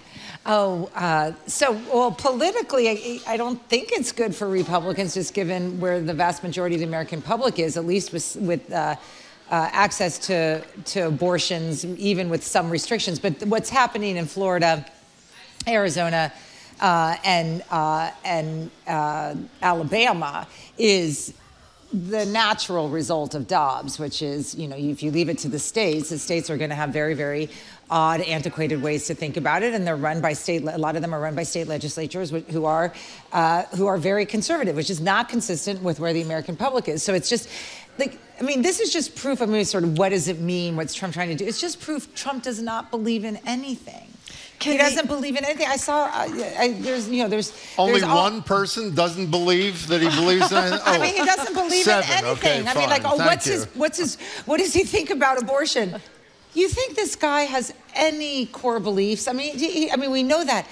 Th- one of the things that's interesting is the Republicans who used to talk about choice, pro-choice or pro-life as I a moral it. issue Yeah. are now talking about it as a political issue, which you're like, okay, did you not, like, were you in your own Never Never Land about how you thought this would, would unfold? The other hilarious thing is, um, as I'm looking behind you, is uh, you know, people like her. We have sound from her. others who are just trying make- to backpedal Yeah. from what was the natural extension of of Dobbs. So, um, and you know, I've, I often think like you know, reproductive freedom is is reproductive safety. It is about you know women not dying in Walmart parking lots because they have to wait to bleed out before a doctor will see them. Okay, so let's talk about Kari Lake for a minute. Yes. Kari Lake ran for governor. When she ran for governor in 2022, she loved the 1864 law that, Is that bans right? abortion. We should be clear no exceptions except life of the She mother. called abortion execution. Executions. Well, here's what else she had to say. This is back in 2022. That was then. We'll tell you what now is. Here's a candidate for governor. She lost. Kari Lake. We have a great law in the books right now. If that happens, uh, we will be a state where we will not be taking the lives of our unborn anymore. Okay, that was two years ago, and as Margery said correctly, she called it execution, any sort of abortion. Yesterday, and this is the same person as far as I understand, yesterday she says Katie Hobbs, the woman who beat her for governor, has got to call the legislature in a session because this law is an abomination and we need a common sense solution so that women have rights and we protect them and all. I mean, you know, we said this to John King or somebody yesterday. I understand if you change your, do a 180 on a budgetary item. You can Yeah. pretend. Bike well, lanes. I learned bike, bike lanes. lanes, Bike, bike lanes is perfect, Okay, I right? it's like it's I like I learned, I saw the exactly. data. Like there's no moral issue. What like do you I- say? Margery's answer to everything I say when I say it is not possible that Republican voters No. believe this is, well, they don't believe it because they watch Fox News. Everybody in Arizona, I would hazard to guess, everybody knows that Kari Lake, who's now running for the Senate, we should have said, that Kari Lake was in favor of this outrageous 1864 law until she was against it. How do they how do they wiggle out of this? Yeah, I, I mean, part of it is uh, they don't have any narrative to wiggle out of it anymore because if you say it's a states' rights things, well, look at what the states are doing. They can't support a federal ban. Even Um, though they do, they can't. They, they can't because they know they know what that's going to mean. I mean, every swing state is just going to move, and so they have no. They have been so mean. I mean, this is just the way. They just like you know, no exception for incest, no exception for rape, no exceptions for you know make make women prove that they're bleeding out before, and um, and they are now seeing the consequences of their meetings, which is just the the law is now just reflecting what they want, and now they're realizing oh, maybe this is a political issue. Like maybe actually I should listen to my constituents who don't want to force 14-year-olds to have babies if they've been uh, if they've been raped. Hello, Here's- we have a- Ohio, right. Uh, we have Oh, a clip from uh, this new uh, Biden campaign Yeah. ad. Good. And this is a woman named Amanda and her husband, and they're sobbing uh, because the woman had a miscarriage. Then she almost died because of an infection from that miscarriage because she couldn't get help because the doctors were worried about being Yeah. prosecuted. The infection was so bad that she may not be able to get pregnant again. And here's at the end, lu- uh, viewers see a black screen with a single phrase Donald Trump did this. Here she is. Yeah. This was the outfit that she was gonna maybe wear home from the hospital. Um, this is the blanket that she was in. These are her little footprints. Hope Kari Lake gets to watch that over Yeah. and over. Well, did you hear what uh. Frank Luntz, the Republican pollster, said on CNN last night, What? your station? He said if Donald Trump is able to make this election about uh, immigration and the economy, he's the next president. If Joe Biden can make this election about abortion, Joe Biden will be Yeah. reelected. You know what the incredible exa- thing I is? mean, Which though? that- would be which would be such poetic justice if young women Yeah. put Donald Trump out of You know, his- I, we Yesterday- haven't lo- let me, we haven't, we haven't lost one yet. I mean, every That's time true. abortion is That's on true. the ballot, uh, uh, the Democrat wins, and, and it will be on the ballot in Arizona. And if the Biden people play it right, it's the only thing you're going to be talking about in the swing states. You know, Um, yes, I want to correct. Yesterday, I said that uh, Trump was brilliant strategically. I think it said it to John King. And then when I was watching all this abortion coverage yesterday Yeah. after the High Court ruling in Arizona, I realized at the same time that he's smart enough to say to Republicans, and he has, politically, quote, this is a loser for us, Yeah. which is why he attempted to escape it with this, you know, let the states decide kind of thing. He can't help himself. And at the same time, he realizes it's, quote, a loser. He proudly says uh, Roe v. Wade was repealed because of me. me. I'm the. He says it outright in his every pronouncement. I have nominated those three justices. Without them, Roe would still be the law of the Yeah. land. So he really can't resist. Uh, and Well, I- that's what that's what happens when you have no backbone. Core. No, yeah, no, no core. core. You have no core. Like it's like like you're you're you're not a, you you everything is binary, right? So it's either I I did that or I didn't do that or whatever. But he has no nuance. He has no core. He has no guiding principles. he could be pro-choice tomorrow. I mean, yeah, if, I mean, literally, he could thought- say, yeah. and people would just be, I'm oh. pro bike lane, and I, that shows that I am, you know, I'm now a biker. Okay, so. fine. We're talking to Juliette Kayyem. Okay, and, and, you know, I get these texts all the time What? about how Democrats pushing abortion up to the moment of birth. That is such baloney. Yeah. That is another one Yeah. of those. um, well, wait, wait. It goes worse than that. Trump in his four-minute Said- thing the other day Well, that's- said and execute the babies yeah, after, after, birth. they're born. I mean, that gets to the the violence that is becoming Yeah. a, a Well, sort of key about part of that. that. That is, I mean, that statement was one of 200 in that speech that I thought were just Yeah. like, That is not happening. After Roe v. When we had Roe v. Wade, after Roe v. Wade, uh, there had to be something like you were dying, or Yeah. the, or the baby was dying, or something like that. That's or that you were going to be septic or something Yeah. like that. Uh, th- that's just ridiculous. There were no, you know, nine month, ten month abortions. But in any case, um, you know. We talked uh, yesterday with Adam Gopnik, this great Mhm. writer for the New Yorker, who talked about the parallels between the rise of Adolf Hitler and the rise Yeah. of Donald Trump, and they were really they were really scary in terms of you know Republicans now supporting Trump and people and the, the news media and all that that was doing it back then. Fox News today, this other guy that owned all these newspapers back then. In any case, you had a pretty scary piece in the Atlantic about uh, uh, our government not being ready. Uh, Yeah. For what could happen if uh, President Trump does, as at least I hope, lose the next election. Yeah. What'd you say? So I mean, I was you know I've been writing about incitement and and elections and democracy and warning of January 6th before January 6th, and I mean, I take Trump for uh, uh, his word. I don't pretend that he's joking or think no one's going to believe him. I, I, I there, his I'll be, his campaign strategy is one is you know fluctuates between vulgarity and violence. Like those are the two v's of like this is his strategy for victory. Like is and the violence side was the one that i was just focused on for the atlantic which um, which is we all are worried about donald trump winning.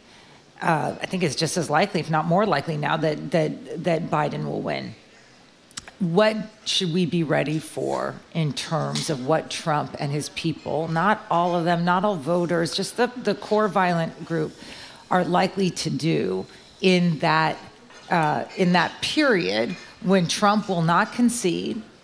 Uh, uh, President Biden is in charge of the federal apparatus, and he needs to create a narrative for why he lost. And that narrative is the people, as seen out in the streets, as seen in violence, or whatever, were denied their rights.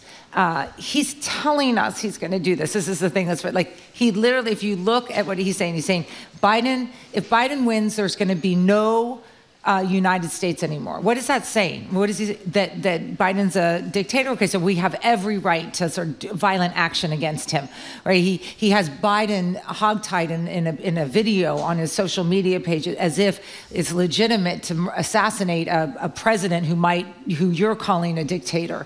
Um, he That video, by the way, to me at least, looks like he uh, also has got a shot. Yeah, hole in his yeah, forehead. and uh, you know, immigrants are invaders, right? So the Democrats who are letting immigrants, he, he uses the word, you know, invasion, like they're like they're cockroaches, right? Everyone's expendable except for Trump and his supporters. In the in the crazy land world, I should just say, people like me who monitor this. There's Michael Flynn has already said if Trump loses, it's not a real loss. Uh, we we go to war for this. Um, other organizations are doing the same, so we know. I mean, that's the thing. Like we know. Like what we don't. I don't have to both sides this. We know uh, what will happen, and so it was just urging a, a variety of things that I was urging uh, President Biden to do now and it's not like I'm a genius. The, action, the, the guidance comes from the January 6th report. We forget they had recommendations for the next insurrection. Some of them require Congress, but a lot of them don't. So, what preparation is he doing that? I don't, I, so the, the, the, the, the press reporting that we can get out of the White House right now is there's a lot of deflection. Like there's a lot of, oh, the state and locals will take care of it or, or whatever. Um, uh, Biden could do this strategically. He could get a Republican to join forces for what you would just call like a peaceful transition. Um, uh, you get DC in particular ready because they will focus on DC, and there's lots of things that you can do in terms of organizing. You share information with state and locals. You have a lead federal agency, uh, and for the media. Um, I think the question now is not to ask, well, this is negative stop asking candidates whether they will accept the results of the election because they can get out of that easily. Oh, I heard about this and there was this. Ask every candidate do they endorse violence if their candidate loses or if they lose? Get them on the record because I tell you, like reproductive rights, anti violence polls pretty well in this country still the, the data. People say they're going to take. Thank you. Well, we're not so bad Thank after God. all. Yeah. yeah. So, um, so that's. By the way, for whatever it's worth, it may poll well, but in terms of whether people think it's going to happen, GBH yes, just I did was, a poll. Yeah. 62%, I think, is the number of people in Massachusetts think that violence is. Is it very likely? Uh, yeah, very likely poll? or likely. Yeah. yeah. I mean that's. Pretty... I was. I, I was. I, I was quoting that. Look. Oh, you were. The, yeah. Right, so. yeah. so you know part of what i do and like give people agency like right i mean in other words there's we don't have to sit here and worry. And so part of this is biden you are not just a candidate you're a president of the united states who is in charge of the peaceful transition to the next term. Biden can announce right now if donald trump wins there will be a peaceful transition i will do this right here's my transition team. Um, what is trump saying what are the other candidates it's actually saying? A great idea. What are the Yeah. Senate? What are the senators saying? Right? Because they can always get around this little thing, like, "Oh, I heard about this thing." Whatever. Get every senator to answer the question. Simple. They don't have to say, "I didn't read the tweet" or whatever. They all get out of the other. I was like, "I didn't read that tweet." Um, do you do you support violence uh, if Donald Trump loses? By the way, one senator has spoken to this issue. He said, if he loses, I will raise my fist to the crowd Oh, and then run as fast as I can. Oh, my God. Now, that, of course, Yeah. would be the Josh great Josh Hawley. Hawley Yeah. from uh, yeah, Missouri. who's yeah. I mean, this is uh, and and uh, I just honestly like I'm tired of being so passive against this force that is so obviously so obvious and can be addressed now. But it just seems like why are we going through this again wondering if that's what Trump means? Trump means it. He will unleash something. You you think he's going away? I mean, the thing that's he's going to be back in 2028 unless we slay this thing. Like, I'm not joking. He's going to be the still same like, age in 2028 that Joe Biden- Biden, is yeah, now. yeah, The idea, the Republicans do not take advantage of this moment. They do not deserve to be a political party. Period. Well, they didn't take advantage when they, They had didn't, the they opportunity didn't, with they the didn't, they- they conviction and and the think, and impeachment think how trial. different things would be if Mitch McConnell had stood up to I've him. long I, thought I that. mean, you I've know, long the history thought- books yeah. are going to put a lot Yeah. of this right on his shoulders. So tell us um, about the latest with Biden and Gaza. What's going on? Oh, I, I, I I'm, I'm like trying to figure that out. I was as I was coming, I was like, what exactly is going on? Well, he's being like, pretty tough. Yeah, he's. I mean, he's he's he's vocally being very tough. Vocally, he's, uh, that's I right. mean, he's he's. Um, it's okay. So the one thing I want to say is, Israel lied when it said that they weren't responsible for the lack of humanitarian relief in Gaza. We all knew it because the second that that Biden actually ex- exerted some pressure on them to begin to get stuff into Gaza, it's starting to it's starting to work. Now, if Biden had only done that 3 months ago, tens, you know, hundreds and thousands of people would have uh, would have lived. So, part of it is put pressure on them where you can because you probably can on the military mission. Hamas is now claiming it doesn't have a bunch of the hostages. I don't believe Hamas either, so I don't know what that is in term. What, that's why I was looking around, like what is going on at this moment in time. But Netanyahu um, is at least getting out of some areas of Gaza. We do not know if that's to regroup for a Rafah attack, or if this is the, the, the, the, you know, some process of recalibrating the war. But Netanyahu is in a lot of trouble right now because his right right wing coalition uh, is threatening to walk away uh, if he doesn't continue, and he will lose part of his left wing co- coalition if he moves forward. He He's not losing weapons from the United States. losing, but that's the one thing he's yeah. Joe Biden yeah. No, there's no. It's just the most ridiculous thing in the world at this stage. I mean, it really. I mean, it's you know, you. I read an article every two days. Like Biden's really upset with Netanyahu. Netanyahu. You've got Chuck Schumer. Like when Israel loses Chuck Schumer, you're in trouble, Israel. Like well, you know, I mean, in other words, when, when uh, Elizabeth Warren, as we Yeah, said a day or Elizabeth two Warren's ago, been very, says, very I'm vocal." not giving him my legal opinion, Yeah. but I believe people So- who study this believe, believe that it's a genocide. That it's a genocide. yeah, I thought that was. I That's mean, that's that's that's a from her. very very uh, hard word. I think for her to say. I don't even use it. I mean, I Nor you know I. I believe it's a slaughter, and and you can.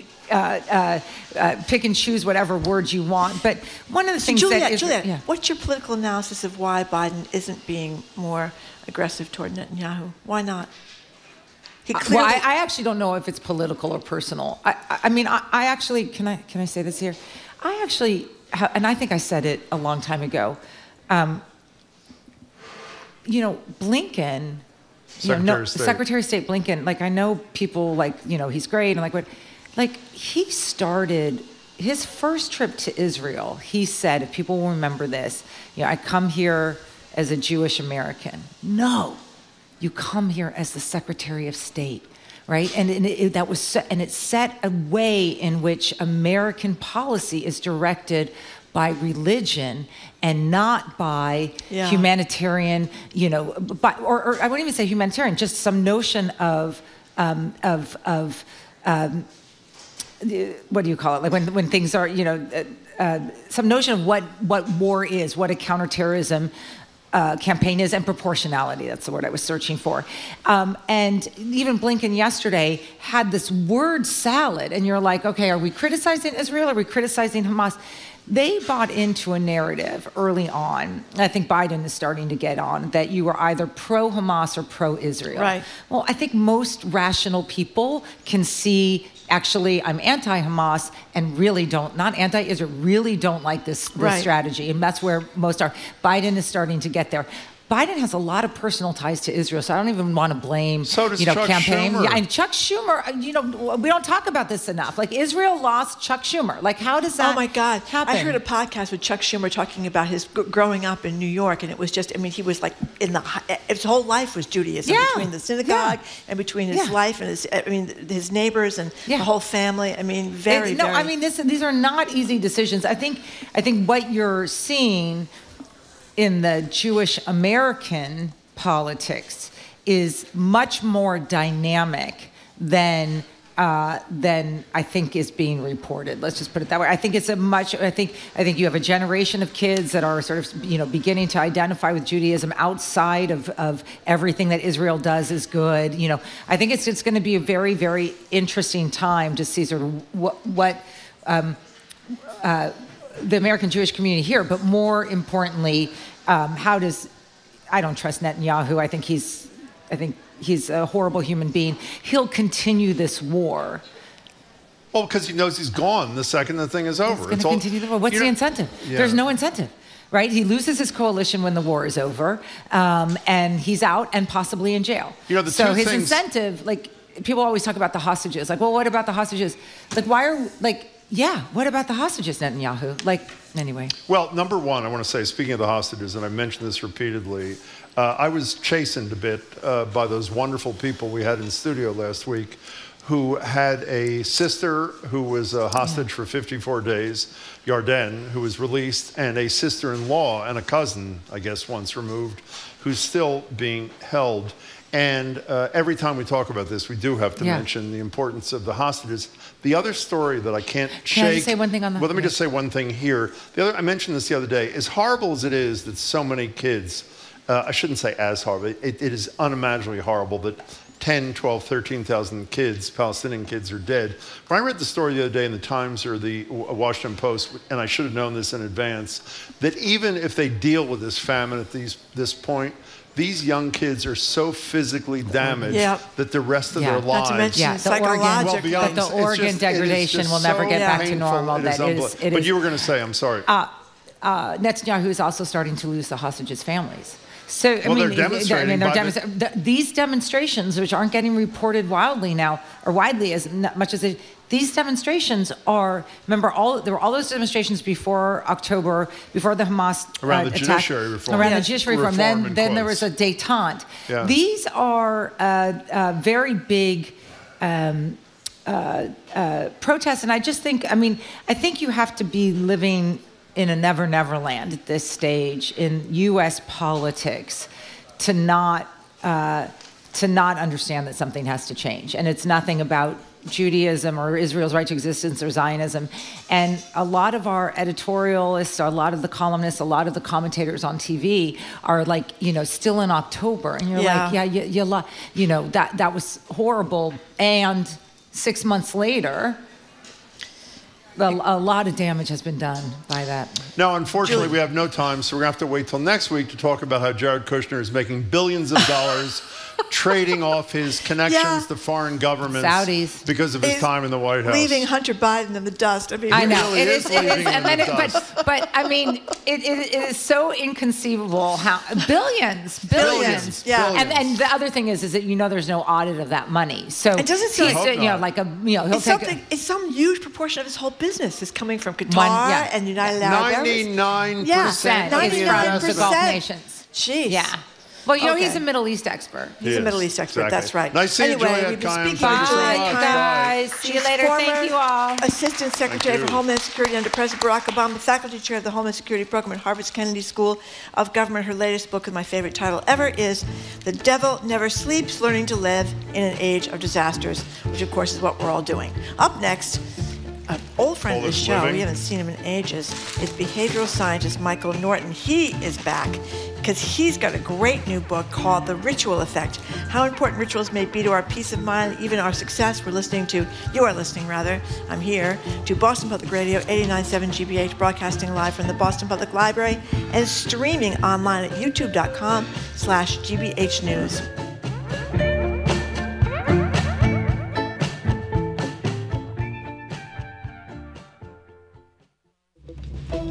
I'm Arun Rath. Coming up on GBH's All Things Considered, we'll break down the two budget plans coming out today, one from the Massachusetts House and the other from Boston Mayor Michelle Wu. Wrentham schools are dropping a proposed ban on the pride flag after community pushback. And we'll discuss a ballot question that could require Massachusetts employers to pay all service workers, including those who get tips, the same minimum wage. Those stories and all the day's news starting at 4 on GBH's All Things Considered. Our programs are made possible thanks to you. And Babson College. Students can gain the know how to become a successful leader at the number one graduate school in entrepreneurship, ranked by U.S. News and World Report. Virtual open house April 17th. babson.edu slash grad open house. And the Boston Speakers Series, announcing its upcoming season at Symphony Hall for seven evenings, including Andrew Lloyd Webber, Liz Cheney, former NATO Commander Admiral James Stavridis, and Supreme Court correspondent Nina Totenberg. BostonSpeakers.org.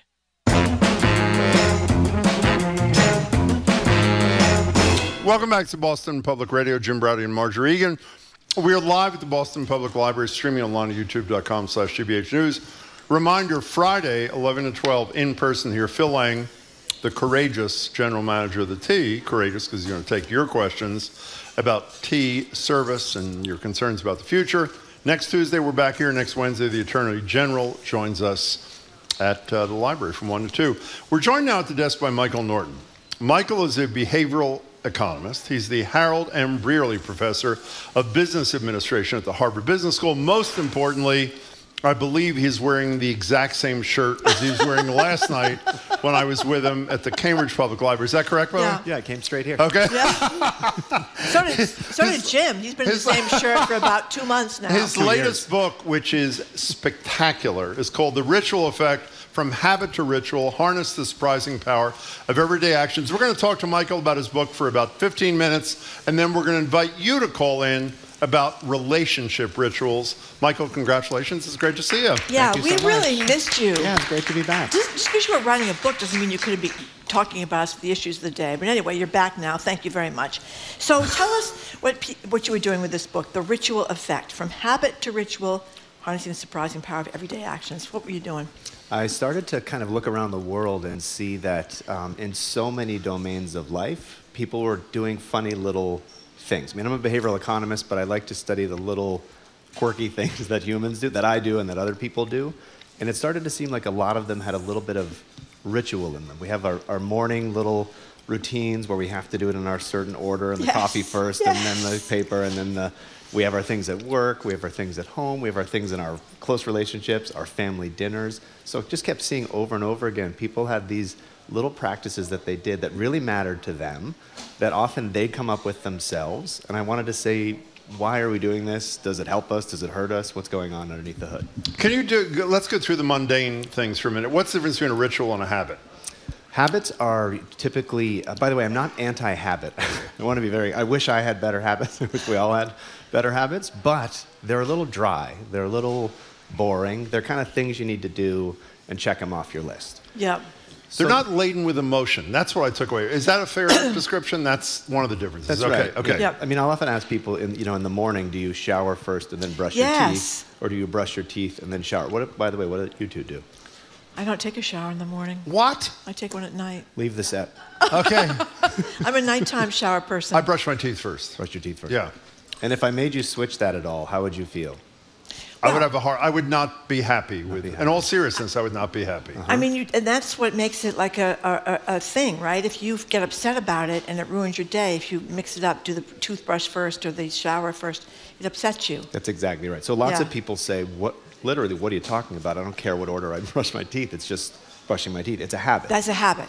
What about superstition, though? You mentioned this musician who brought some pink lobster or something like that with him every time he performed. Is that a superstition or is that a ritual? By the way, you can waste an entire day of your life typing in any celebrity's name, Yeah. followed by the word ritual, and you're going to get ama- not every single one, but you're going to get amazing stuff because people who perform at that level, they really bring ritual to bear before they perform. There's something about the stress of really needing to do something big that makes us actually do something Okay. big beforehand. So that is a ritual, it's not a superstition. I think superstitions are kind of a, a category Okay. of rituals, but so are weddings and funerals and also knocking on wood. Tell us about the pink lobster. No, you asked them a question. Uh, Tell them about the pink, lobster. Who is this guy? Yeah, so this pianist, one of the greatest pianists in the world. You think, you know, as a pianist, you'd, you'd uh, practice your entire life. The main thing you do before you go on stage is maybe warm up your, I don't know, I don't play the piano, but warm up your fingers or Mhm. something like that.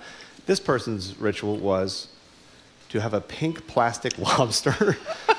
For real, pink plastic lobster that always had to be within us. It didn't have to be right next to him on stage, but it had to be within a certain radius of him in order for him to feel that he could perform the way that he wanted to perform. And just like if you can't brush your teeth at the same time you feel off, this is maybe a little more odd, but pink lobster isn't really any different than needing to brush your teeth at a certain time. It made him feel like he was ready to go on stage in front of thousands of people and get it done. And what's the wait, wait, and what's the evidence that when he did that, which made him feel ready to be on stage, that his performance benefited from his ritual?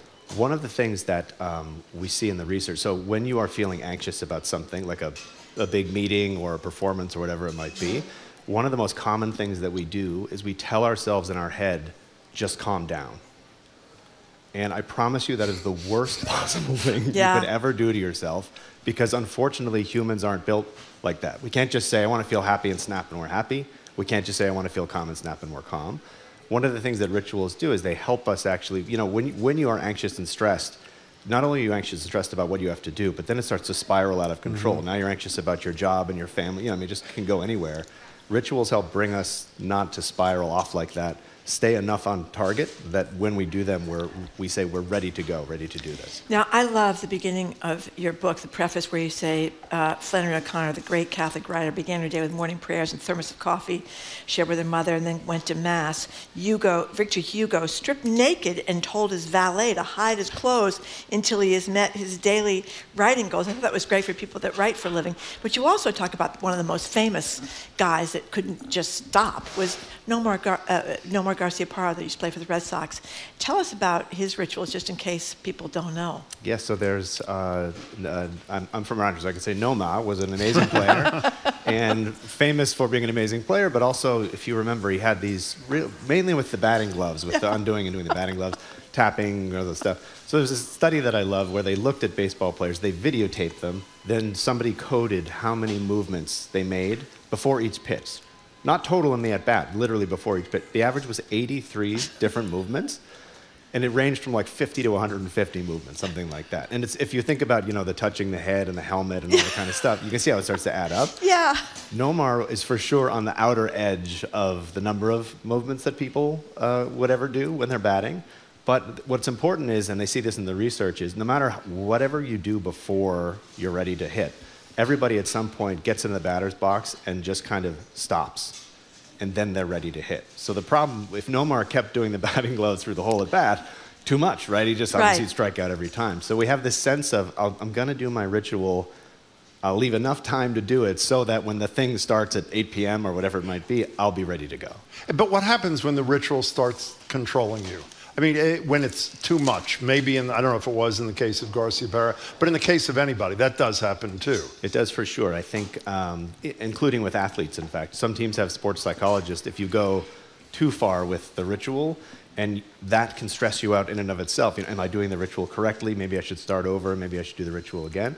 You can think of something like obsessive compulsive disorder Yes. as related to that, where it may start as a ritual that you're doing to calm down, or you know, you check the door, check to see the door is locked before you leave for work or for something else, so that you feel good about it. But then you kind of get stuck in the checking the lock. So the ritual itself becomes what you're doing and interferes with the thing you were trying to get done. And that's when we start to say the ritual's too much now. Yes. As soon as it starts to affect your life negatively instead of positively, maybe we need to pull it back. You know, I have a dear friend. It takes him about 20 minutes to get out of the house. And when he has to take two steps back, two steps to the side, turn around sideways, turn around with that.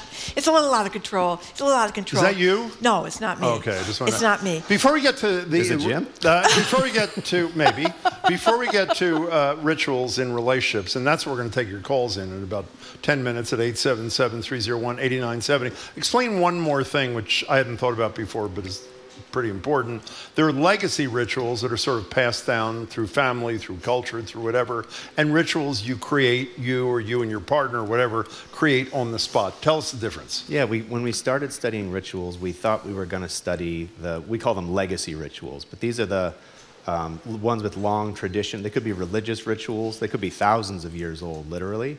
They're things that come to us. Thanksgiving, for example, is something that kind of comes to Americans fully formed, and then we do Thanksgiving. So those are incredibly interesting and important in our lives. They play really important roles.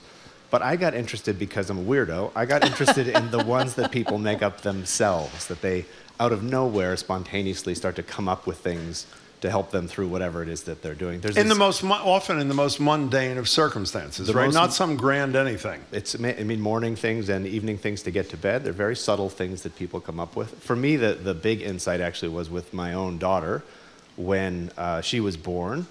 If you've ever had a child, what happens is the hospital says, take the human with you, and then you've got to take care of the human forever. That's right. With no training of any kind. Exactly. And the Go first, home. The first night is uh, get, how do you get the thing to sleep? How to get the all need to sleep. And so what what we did, I mean, we're scientists, you know, so whatever. But what we did was we started. We wouldn't. We didn't say let's do a ritual together. But what we started doing was, I think here's what we're going to do. We're going to do. Let's read this book followed by this book.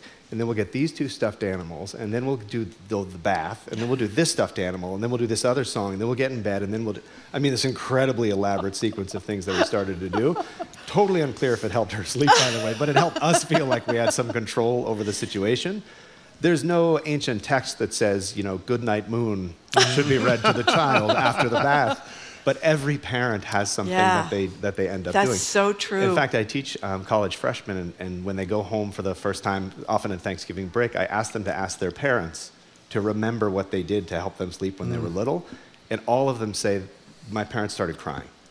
Because they Oh. remember the, it, and it brings you back so viscerally to holding your, you know, we all remember our kids when they were babies, but these things bring us back in a really powerful way. You know, uh, sorry, Margery, go I was just going to say that is so true. I think Goodnight Moon. My kids are all grown up, but that was a, that was a big thing. But I also love the rituals you talked about in your family with the Johnny Mathis Christmas albums and the Three Times a Lady. You know what was going on there? It sounds like you had a lot of rituals going on. Yeah, I'm, uh, uh, as many of us are Irish Catholic, uh, so there's, there's religious rituals, but then we also have our own kind of family rituals. So every family does their rituals, and then for some reason you get these random things that get built in. And I, have, I don't know why. My, my dad had this stereo that he bought when he was in the service from Germany. It was this, it was this long kind of thing, uh, whatever. We never used it ever. We weren't even supposed to touch it. It was too fancy. I'm one of five, so everything was ruined in the house. so the only, the only day of the year we used this thing was on Christmas. And the only things that we planned, for some reason, I don't know got, we had a Johnny Mathis Christmas album. Specifically, Johnny Mathis. We had, we also had like the uh, Andrews sisters and, and Oh, stuff like that, of course. yeah. But this Johnny Mathis, and so every year we would put on the Johnny Mathis. Ne- we never listened to Johnny Mathis any other day of the year ever. There's nothing wrong with Johnny Mathis. It just wasn't a big deal for us. But it became this thing where it's like, it's kind of quiet in the house. You know, it's Christmas, but some, what's what's missing? And what if you didn't have Let's it? put on the Johnny Mathis. What if you didn't You have got to it? do it. I don't know what we would do. We, maybe we'd have to talk to each other, which would be the worst thing. No, So- but I'm serious. Based upon your research, when something like that, that that is that critical to a family and their relationship, when it's withdrawn, what happens? Yeah, we do see. I mean, one way to think about it is when families blend. Mm-hmm. So, you know, if you had kids from your previous marriages, and then think of the Brady Bunch, but for real, where it's not just right. easy, you've each got your own traditions, and then you come together in the same house, and you got to sort out are we going to do yours? Are we going to do uh, mine? Are we going to take both? And families really struggle with it. But one of the things they do is they often take some from one family, some from the other family, and just like my family, come up with some of their own that are theirs, and that makes that family that family. You know, I have one last question. And I have before one we get- before the break, Yeah, too. before the break. Um, you, you, what did we call Max Weber? A philosopher, writer? What was he? What, what, what was his? I don't know, sociologist, Something anthropo- like yeah, that. sure. But you, but you t- talk about his feeling in, in your book that um, that we have gotten away from too many of these cultural rituals and these family rituals, and we're now too, I don't know, bureaucratic or something, uh, religious rituals because nobody's going to church anymore. Not very many people going to church anymore, and he thinks that's a big loss, or he thought that was a big loss. Is he right? I think um, if you think about the role of rituals, if you think of kind of the, the legacy ones that we talked about that go back hundreds or thousands of years, humans often do sometimes lose those. You know, your parents had a faith that you don't share, and so you don't do those anymore. You don't go to mass or whatever it might be. But I don't think it's the case that that means we've lost ritual in our lives or lost the emotional benefits of rituals in our lives. There's two examples always that I think of. So one is Burning Man, Oh. which is not religious, Yeah. except like let's just break it down. You go on a pilgrimage to the desert. Does this sound familiar from like the Bible? Yeah. And then you gather with like-minded people Yeah. and you burn a thing at the end of the That's thing. You take substances that might alter how you're feeling. About, I mean, it's very ritualistic. It's not religious, but it's not that we've lost the things that rituals do for us, Mhm. like bring us together and things like that. It's just we use them in a new context. Okay, so before we do take a break and take calls from people about their rituals, particularly in their relationships, but any rituals you want to talk about are fine. 877 301 8970. Before the break, talk about one of the most ordinary kinds of rituals, but a hugely important one coffee in the morning kind of thing, and end it with your excerpt, uh, which you shared last night from This Is Us. Go ahead. Yeah, so the um, this is the saddest thing ever. So uh, if you watch the show This Is Us, uh, the character Miguel's trying to explain what, when he knew his marriage was over. His friend Jack asked him, when, when did you know your marriage was over? And Miguel says, every morning for years, I would make coffee and I would bring it to her in bed. You know, it was like a special thing that I always made sure to do. And he said, one morning, I just didn't feel like doing it Oh. which is already devastating. This is heartbreaking. And then he said, and the worst thing was, she didn't even notice. Oh, my God. Oh my. I mean, that show made me cry like a, insanely every single episode. But what's, I mean, it's coffee. It's the most mundane thing, technically. and It's just liquid in a cup. It should not mean anything. But in when you build these things into your relationships, It they can mean everything. Johnny Mathis doesn't mean anything necessarily, but when it gets built in to these close relationships, it's a huge signal of how things are going and how much we love each other. Okay, we're, we're talking with Michael Norton, a behavioral economist, Harold E. Brierley, professor of business administration at Harvard Business School. The book is The Ritual Effect From Habit to Ritual Harness the Surprising Power of Everyday Actions. After a quick break, we're going to open the lines at 877 301 8970 to call or text about the, uh, the rituals you have in your life, particularly if you have those in your relationships.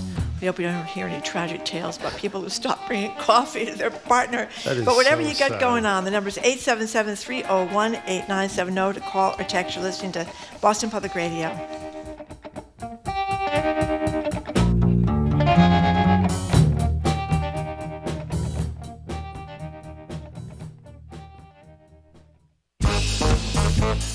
This week on Under the Radar with Callie Crossley, 200 top U.S. musicians demand protections against AI. Beyonce's Cowboy Carter album blows up the record books, and Kevin Hart is crowned comedy royalty. It's our pop culture roundtable. That's Under the Radar with me, Callie Crossley, tonight at 9 here on 89.7 GBH and the GBH app. Support for our programs comes from you and Johnson & Wales University. From computer science to psychology and multiple MBA programs, JWU offers an immersive learning approach online. You can discover more at jwu.edu. And Mass General Brigham Health Plan. Innovative plans, coverage, and a broad network of doctors. Mass General Brigham Health Plan, with you every day. For more information, you can visit massgeneralbrighamhealthplan.org. I'm Zoe Matthews, senior producer for Boston Public Radio, and you and I are listening to 89.7 WGBH, HD1 Boston, online at gbhnews.org. GBH News with NPR. What matters to you?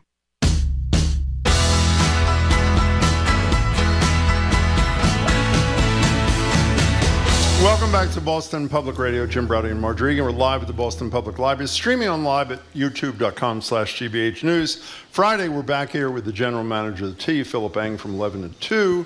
Next Tuesday, we're not here. It's sort of like a marathon hangover kind of deal, I guess. And we're back on Wednesday with the Attorney General, Andrea Campbell, from 1 to 2. We're speaking with Michael Norton, behavioral economist who works at Harvard Business School, where, by the way, Margery, I'm sure you read this in the book, before a lecture, before he teaches a class, he paces in his Yeah. office for 30 Like minutes, writes down his lesson plan on a yellow pad. Always, am I right so far? Always on a yellow pad, and then puts it in a briefcase that your father gave you, and you do that every single time. So he lives what he's talking about. His latest book, which actually was on the Drudge Report yesterday. I know. My God. I was so excited when I saw it there. That's huge. Well, wait a second. What you should say, when I said to you last night at the Cambridge Public Library, how great was it that your book on day one was mentioned in the Drudge Report? What'd you say?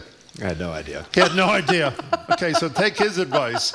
His latest book is fabulous. It's called The Ritual Effect From Habit to Ritual Harnesses Surprising Power of Everyday Actions. And by the way, he talks about everything from holidays to mourning to dealing with death. I mean, every kind of life situation. I I think it's really helpful. 877 301 8970. We want to know about your rituals, particularly relationship rituals, but any ritual that matters to you. Margot in New Hampshire, you are on with Michael Norton. Thanks for calling. Hey, Margot. Hey, how are you guys? We're excellent, Fine, thank thank you. you. Margot from Hancock. Oh, hi, Hancock. Sy's going to be on at the end of the show. Speaking of Hancock. Hi. I know. We already talked about it. Okay. Um, so I have two quick things. One, um, rituals in relationship um, as a grandparent has been instrumental in you know kind of relationship building with my two granddaughters. Like what? So you know they they well so it's like every Friday is dinner at Mima's house and we listen to the same kind of music on the way over to my house and we look for the when they were little we looked for the same sign sees the firehouse sign first and they know which things they can do once they get in the house and just that repetition of um, things that we do every week kind of keeps us bonded, I think, in a way that we wouldn't have otherwise. Um, even if we don't see each other for a couple weeks, we they pick it right up again. You can hear it in your voice. What do you think of that, Michael And Norton? then- I'm sorry. Go ahead, Margot. Sorry. I can hear my voice too. Um, so uh, anyway, um, the other thing I was going to say quickly is I, I I had to deal with some significant trauma, and Rich dealing with um, PTSD and trauma is I think very very important in a healing sense. Margot, that was a great call. Say hi to Sy. Tell her we'll be talking to her at 1.30. Comment on the grandkid thing, but then we didn't touch, except in passing, on the value of rituals around death and mourning and that sort of thing. Michael Norton. Yes, I think. Um, uh, first off, I love the that story and, and seeing the sign every time. It's it's so funny that again the random things that Mhm. we build in that have so much meaning, and especially for kids, their worlds are often so narrow that these things are so huge for them. And so I love the, that idea. And in fact, we see if we ask people about their family, like are you close to your family, your not your nuclear family, but you know your aunts, your uncles, your cousins. If people say yes, the reason they say yes is because they got together for holidays.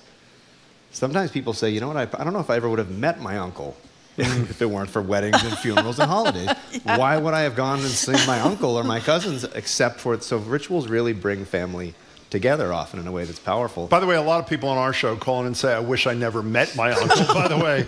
Holiday otherwise, but keep going, Michael. I'm sorry. Yeah, so I mean, I do think there's there's just deep emotion in there on the Mhm. on the positive side, and then and then as you said, we also use rituals on the negative side. So sometimes we're using them to try to enhance an experience, and sometimes we're using it to try to get over something. And again, what we see, so you know, every faith, every culture has something that they do when someone passes away, a funeral or different work. You know, it lasts for a day or three days or five days or Mhm. a month. It varies from culture to culture.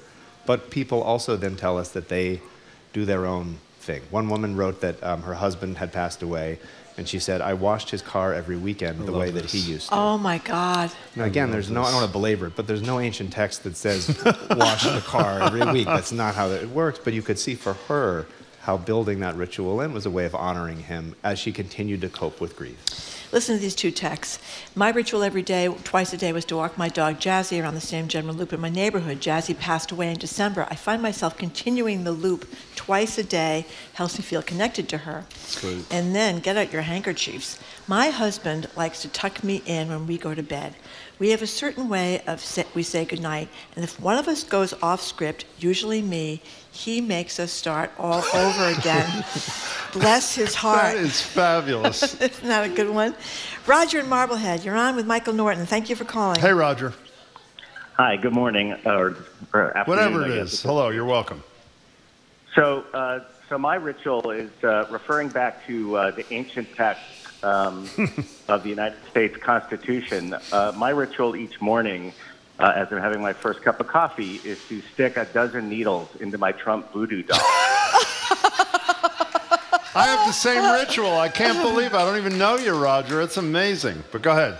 Well, and then and then I carefully prepare a cup of hemlock, and I pretend that the voodoo doll. That we're not. No, that we won't. We're not doing that. Okay. Is that it? Uh, that's it for now. That Thank was. you. That's it for now. That's enough for now. Thank you, Roger. We really appreciate your uh, call. 877-301-8970. Josephine in Boston. Welcome to the show. Hi. Um, my husband and I have three rituals Mm-hmm. that we kind of do all the time. One is I work from home, so he buys me a cup of coffee every morning Mm-hmm. at Dundee's, and then we always have Friday um, date night, Mm-hmm. Keep going. and we always and we always yeah, and we always say I love you before we go to sleep. Oh, that's nice. That's very nice. Those are, I mean, Josephine, thanks. That's there's a lot of that, right? I mean, that's pretty basic. I don't mean that in a critical way. It's wonderful, but that's basic kind of stuff, right? Except yeah, there's there's often there are very very little things that come to be when you do them regularly the way you do them. They become really really important. Two of my favorite relationship rituals. One couple uh, wrote, uh, "We always kiss in threes. And they said, I don't know when it started, but it would feel weird. You know, two kisses is like, wait, you don't love me anymore? I thought we were a three kiss couple, you know, kind of thing. And the other Oh. one, this couple said, um, every time before we eat, we clink our silverware together. And then they eat, which is so random Yeah. in a sense, and yet it's kind of adorable that they decided that this is their thing that they do together every time. The name of the book is The Ritual Effect From Habit to Ritual Harness the Surprising Power of Everyday Actions. The author is Michael Norton. Joan in Boston. You're on with Michael Norton. Welcome. Hi. Hi. Um, so, in terms of the in terms of relationship things, I don't know how this started, but my husband and I, whoever goes into the bathroom first before bedtime, puts toothpaste on the other person's Oh, toothbrush. that is great. Oh, That is great. Go ahead. And and it's actually it's become kind of a funny thing. Um, but but I will I wanted to get back to when you were talking about the Christmas thing. We had when our kids we had three kids and when they were very little, we were starting traditions that we didn't even know we were doing because when once they got to be eight, nine, or ten, they all started saying things like, "Well, we always." Take, we always put this on the tree first because that's what we always do. And Mike and I would look at each other and say, we we do? And they're like, yeah, it's a tradition. And they were like all these things that we didn't realize we do all the time, but the kids picked up on them and it meant something to them. So then we started calling them our traditions. So sometimes they're unplanned.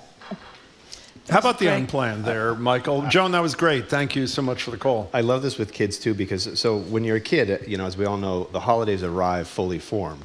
Yeah, You that's just, right. You just get out of bed and everything's all laid out Yeah. for you. You really take it for granted. But also, I think you, you don't realize that your family's doing it in a certain way. Thanksgiving is just Thanksgiving. Yeah. That's how we do it. And it's, it's the case that um, if you ever, like college students might go home with, for Thanksgiving with a roommate, or if you have a significant other and you spend Thanksgiving with their family, people are horrified. Horrified. I mean, the number one emotion is It's like really- disgust and rage. Yeah. Like, what kind of a family Exactly. eats at four o'clock on Thanksgiving?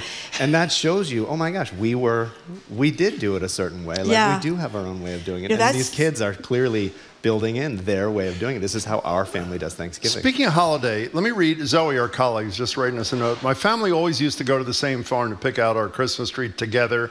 I didn't realize how much it was imprinted on me until I went to college. They did it without me. I cried, she said. Let's just deal with the first half of that for a second. Going to the same place to buy the Christmas tree.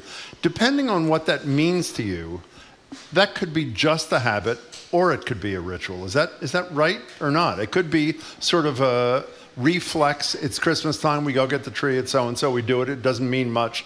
We just do it. Or it could be elevated to something else. Is that right or am I missing the boat? You know, that's that's completely right. I think. I mean, even even parents who are cre- again creating the holidays fully formed for their kids. Some parents see it as like a series of tasks to be performed. Yeah. And other parents see it as you know creating magic and joy for their for their children. So the kids don't know which one's which. They just like it. But yes, for sure, couples often disagree on what are the key elements and what are we really doing here.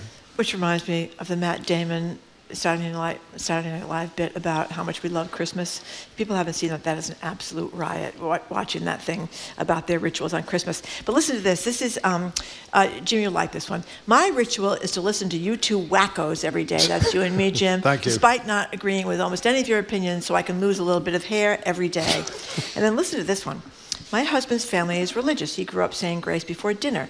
I used to roll my eyes at it. Now that I value family dinners with our 11, 9, and two 6 year olds, I've grown to love the value of brief, brief moment in time when we pause to appreciate each other in our meal, even if it's not about God. It's a ritual of just being grateful. How about that? You want to say something? Yeah, I mean, I, I, again, these are just such nice examples because you, as a family, you might want to start dinner in a certain way. We try to say something we're grateful for with, with our daughter. And it, whether it's religious or not, you're kind of sharing values with your family, and you're saying, this is what we care about. This is important to us. Can you solve a problem I broached with you last night when we did this thing at the Cambridge Public Library? Margie would, uh, I think, corroborate this. Every time we're approaching a holiday and we take calls about how you're preparing, Mhm. half the people call and say, "Well, my uncle is for Trump. We can't be together. And when he does come, it's a disaster." Or my ex, my fiance, whatever. And I, I reference. Remember, the, speaking of SNL, the Great Routine, where uh, a a family gets together for Thanksgiving, and as soon as something grossly offensive is pl- uh, said, they start playing Adele's song "Hello" and they start singing Yes, it. yes, so, yes. uh, give us. We never have a solution for that for people. Is there a ritual solution to that incredible tension? Is there a way to diffuse it with rituals around a holiday? I'm going to say right up front that uh, the answer is no. But I have some thoughts, which is one of the things that rituals help us with around the holidays is, n- li- no joke, literally giving us things to do. Mm-hmm. And often Yeah. it's different people do different things. You know, those two people do the pies, these two people do the tree, these other people do this. And ideally, what you have is you have all these rituals going on and all these steps going on, and before you know it, the whole thing's over, and you didn't have time to chat and argue. So I, I think there's, there's Keep 'em something busy. to it. Exactly. Literally just occupy you so that you can't start screaming at each other. We'll try that. Okay, you have more text? I have one more. Sure. My husband makes me sleepy tea every night. Last summer, I kind of got sick of the tea. He was crushed. as soon as it got cool again, I resumed and will probably never stop because it's important for him. That's Maria in Wakefield. Isn't that nice? By the way, I can't stop thinking about the This Is Us. That's one of the most painful couple of happenings like I've ever heard in my life. Let's go to Andrea on the Pike. You're on with Michael Norton from Harvard Business School, the writer of The Ritual Effect. Hey, How are you? great. I um I can't express to you how absolutely um, these rituals and habits are in my life because I'm in the midst of a move, and so my whole world has been like turned upside down. I can't walk my I don't have the time to walk my dog and listen to NPR in the morning. I don't have time to eat dinner at a reasonable hour. I don't have time to go grocery shopping at my favorite market basket. I have all these little things that I do. I don't think I'm OCD yet, but it's unbelievable. My sleep patterns are way off. Everything has been turned upside down because I can't do these little tasks at the places and at the times that I'm used to. And it's really having an effect, and I can't wait to close on my house on Friday to get those back. How about Michael Norton? Stick around, Andrea. I have uh, this this belief that um, we're we're so quick to build in little rituals and traditions in our environment that if you ask people what is the pizza place that has the best pizza in the world, in the world, it's almost always a place that's within like a quarter mile of where they live. Yeah, that's right. You moved to a new city and you went there the first night and you were stressed that it was a new place and you went there.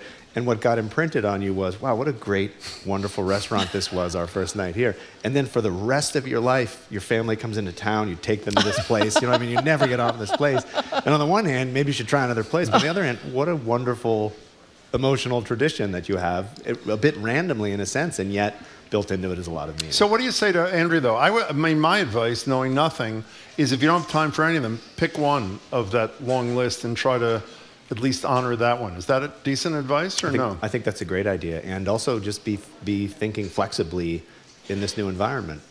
Who am I going to be? What, what are the things I'm going to start doing every day? Can't wait till you close, Andrea. Good uh, luck to you. 877, well, the lines are full. Uh, 877 301 897. You can text. Mike in Boston is concerned he and his wife have no rituals. Is their relationship doomed? okay, Mike, you better get one Uh, fast. So, by the way, they may have rituals and not even know it, right? Very often that's the case, actually, that you are doing something, but Uh-huh. it didn't quite key in that it's a ritual. But, but I will say, we do see if we ask couples, do you have a relationship ritual? Couples that say yes report being more satisfied with their relationship than couples who Really? say no. No, we don't know. And you raised this last night, Jim. Yeah. We don't know if couples who love each other a ton just come up with rituals because they love being together.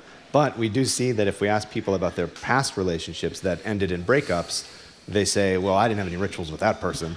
Oh, and, and we don't know if that's because they didn't or because they say, I didn't do anything. That's the worst person in the world. There's no way I had any rituals with them at all.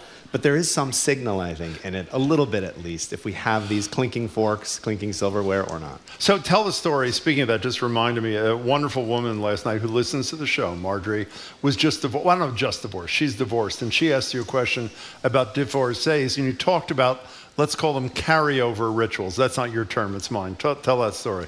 I think it's a, uh, we have rituals in so many domains of life to help us with lots of problems, but we don't actually have culturally a ritual around divorce. Oh. We don't have any, it's not like there's no ceremony where we get together and our friends and family support us. You know, it just happens. Your friends might take you out for coffee or something like that. And it's, and it's a shame because it's an incredibly difficult day. I mean, it's a long process, but the day of mm-hmm. Very bad. is very, very emotional and very hard. And we don't have anything in place to help people through that. So that this woman was saying, why don't we have anything like this, you know, uh, culturally to help us through this? And, and we don't, but there are, people come up with stuff just like they always do. And one of them uh, was a, I don't know how to say, I still don't know how to say it, divorce, divorcery? No. Divorce. Anniversary, something like yeah. that. An Oh, anniversary the of the anniversary. divorce. Oh, yeah. really? Yeah, so every year they get together with all their friends and they celebrate it. But my favorite one was this couple that got, uh, they had been divorced, and then they, 20 years later, they got remarried to each other. I love those stories. And the invitations that they sent out said, um, We're so sorry, but the divorce didn't work out. But That's there's one more story connected to that. How about the person who, in the subsequent relationship, go ahead, tell that story. This is so when you break up with somebody, I'm sorry if you have, probably we all have, you have uh, the things that you did together that were special. You know, you called each other Schmooper Bear, and that was just who you were together. And when you break up, you know, your ex is, al- they're allowed to, you might not like it, but they're allowed to date other people and even get married and have a family and all this stuff, but they are not allowed to reuse your rituals with the next person. People are so, you know, if we're Schmooper Bear and in my next relationship, you overhear me saying Schmooper Bear, I mean, the rage is prof- like clinking the silverware. If I caught my ex clinking the silver with a new person, people really are so offended by that. And you can see why, because it was literally, it was us. And now you're saying maybe it wasn't that important to us. I get it. Oh, Don't you? totally. get it. Absolutely. You know, uh, we have. To, uh, let's take one more quick call, and then I have one last question for you. We're- Elizabeth from Rhode Island, thank you for calling. welcome, Elizabeth. Hello, hello. I am so excited to say this. Um, and it sounds like a weird thing, but some rituals are. But my husband and I love The Princess Bride. Oh. And so ever since we got married, whenever one of us leaves the house, we always say, have fun storming the castle. and so, because that's, of course, a line from The Yes, Princess Bride. yes. And now we're, we've been married for 15 years. We've got kids. And even since they were real little, when somebody leaves the house, or now when we drop them off at school, we always say, have fun storming the castle. So it's our family's little weird thing, but it brings us joy. And you're not going to let the J6 hostages, as they're called, uh, dampen that uh, ritual, correct, Elizabeth? Exactly. Hey, uh, uh, Elizabeth, thank you. You know, before you go, uh, we're talking to Michael Norton, whose great new book just came out a couple days ago. Yesterday? Day Yesterday, before? yeah. Yeah. The Ritual Effect from Habit to Ritual Harness uh, the Surprising Power of Everyday Actions. What I do to uh, stay calm is I listen to music. I heard this uh, of a favorite band. They're called The Lights. And I'm watching The Lights the other day, and there's a guy in the band that looks amazing. Have you ever heard the band? Have you ever heard them? No, no. So I'm reading his book, and he drops in there. Talk about I don't know if this is one of those what's up was brag things called whatever Humble- the- humble humble brag, brag yeah. kind of thing. You just drop in there. By the way, I'm with a couple of my colleagues, and it exists. You're in a band I'm in a of band. business school professors. Well, that makes it doesn't not as cool as the first part. A band sounded cool, and you ruined it with a business school. Do you professor. play anywhere or what? We do sometimes, yeah. You can go uh, the lights.band. I if did. You want to check us out, yeah. I did. The lights. Look how these whole attitude has changed. The whole thing is Okay, different. I He's- have got so many great texts. I, Read a few. We have a couple Can I, just can I just say, if I were talented in music, I wouldn't be standing here right now. I'd be playing music. Thank just you to very warn much. you of the level of skill. Read a few. Well, Allie in New Hampshire makes a great point. This is one of the reasons COVID was so hard. It stripped us of so many rituals without warning, and we have to rebuild them all. Yeah. And listen to this from Well, it Math- helped create a lot of rituals because people need. Is that not correct? That's To right. fill- yeah. Listen to this from Matthew in Medford. Every work morning, right before I leave for work, I go back upstairs and kiss my sleeping wife goodbye. I linger for a moment and take in her scent to Oh, my remember her during the day, a favorite moment. Oh my God. Wow. We get a lot of No, happily keep, married read the out- rest of that text. is also beautiful. What's the rest? Then he says, I do the same thing with a girlfriend, which is really incredibly. it's moving. I mean, he's sort of. Okay. It's in Michael's book, I think there's some. You have any more of those? Rituals are very common in second families, actually. That's uh, Yeah. the research shows. Yes, exactly. We've got a lot of very happy couples that have texted in, but I can't read That's them all. beautiful. Yeah. Are they really? Those are. I beau- know, it's Michael, very, your very book nice. is spectacular. Really, we hope people buy it, and it's great to see you as always. Come back soon, please, Michael Norton. Thank you very much, Michael Great to Norton. see That was both. terrific. And Great to see you, congratulations on a great book. We've been speaking with Michael Norton, behavioral economist, the Harold M. Brierley Professor of Business Administration at Harvard Business School. I don't know, I think Harvard Business School is pretty cool. I think I'd be doing pretty well in life if I went to Harvard Business School myself. Anyway, his latest book is The Ritual Effect From Habit to Ritual Harness the Surprising Power of Everyday Actions. You will see yourself in a lot of these stories and people you know. Up next, uh, we're going to be talking to, where are we going next? Oh, we're talking to uh, Kirk and Jon, our colleagues. Well, Kirk is our colleague anyway. Kirk Carapezza has a wonderful podcast um, about college. He does it with his friend Jon Marcus. It's from the Hechinger. I'm reading this wrong. I'm goofing this up. The point is, you got a great two guys coming up next. They're coming talking up. about this podcast. It's going to help you avoid the pitfalls of going broke trying to pay for a college education. You're listening to Boston Public Radio 89.7 GBH.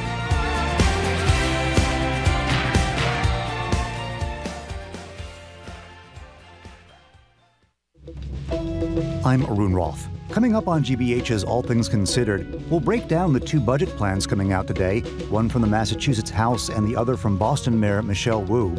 Wrentham schools are dropping a proposed ban on the pride flag after community pushback. And we'll discuss a ballot question that could require Massachusetts employers to pay all service workers, including those who get tips, the same minimum wage. Those stories and all the day's news starting at 4 on GBH's All Things Considered. Support for GBH comes from you. And Revision Energy. Sunbug Solar is now part of Revision Energy, a solar installer committed to being a renewable energy partner for New England and working to fight climate change. Learn more at sunbugsolar.com. And Bionova Scientific, a biologics CDMO providing development and GMP manufacturing services to small and mid-sized biopharmaceutical companies. Bionova Scientific, where concept becomes cure. bionovascientific.org.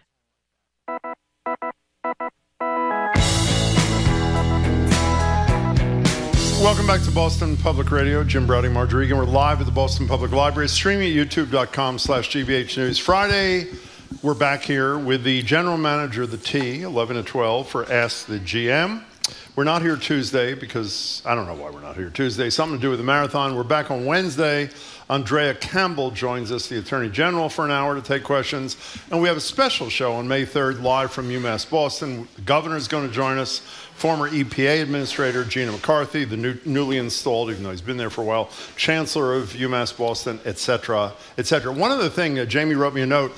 Sy Montgomery, who's going to be our final guest today, was listening to the show. She has animal rituals Oh, that she's going to share with us in the next segment. So, getting into college is hard enough. Why does it feel like you need to already have, I don't know, an economics degree to decipher financial aid forms? Season two of College Uncovered, a podcast from GBH and the Hechinger Report, hosted by Kirk Carapezza and Jon Marcus, gets in all the ways so many colleges make their prices appear much lower than they actually are, and they offer kinds of tips to get a better deal. Kirk is the managing editor and correspondent for higher education at GBH News. Jon Marcus, who we've known forever, is the higher education editor for the Hechinger Report. Jon and Kirk, congratulations. Season two is great so far. Thanks you. for seeing you. Yeah, so uh, I listened to season one and learned a lot about the scams getting into college and scams involving early acceptance mm-hmm. and all these things I had no idea about.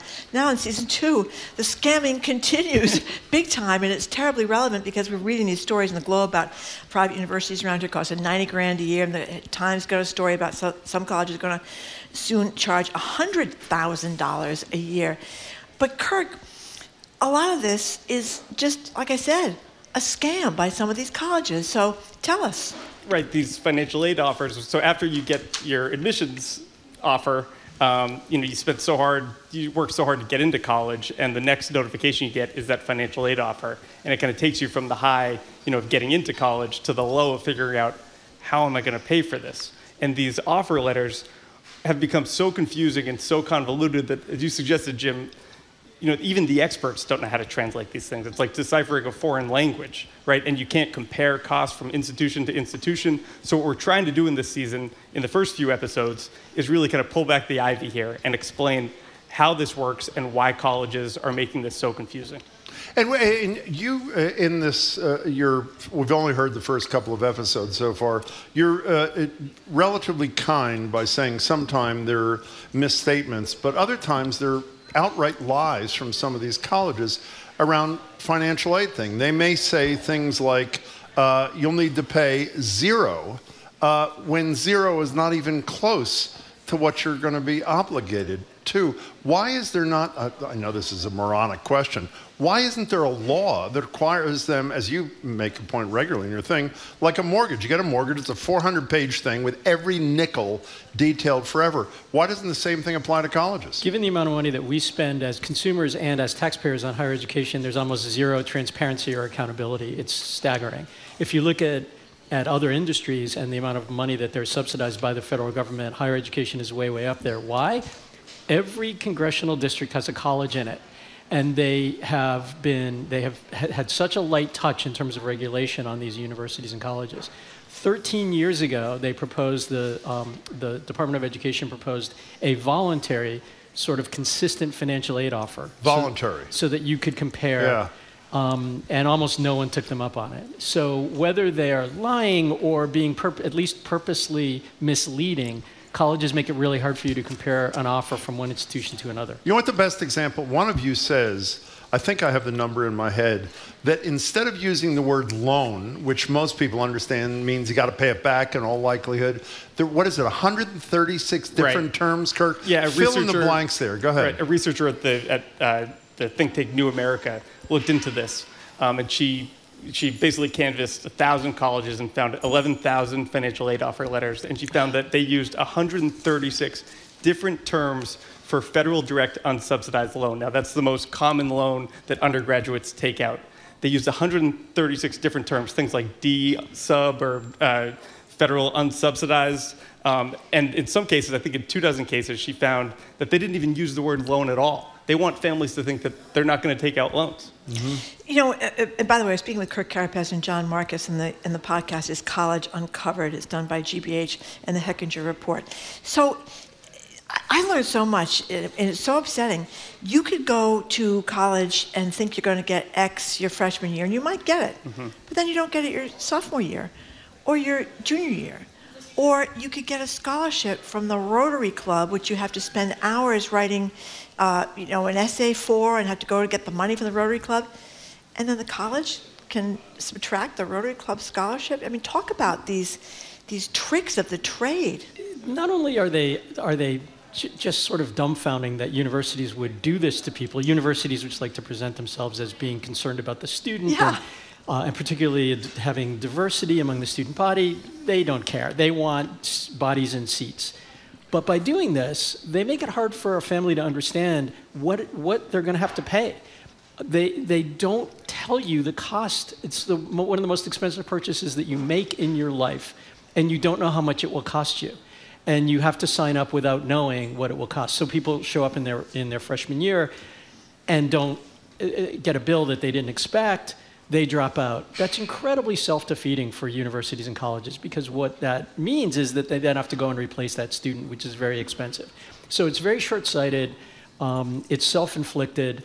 The other thing, as you mentioned, that they do is they typically will lower the amount of financial aid they give you if you come back as a sophomore because they figure, what are you going to do, transfer?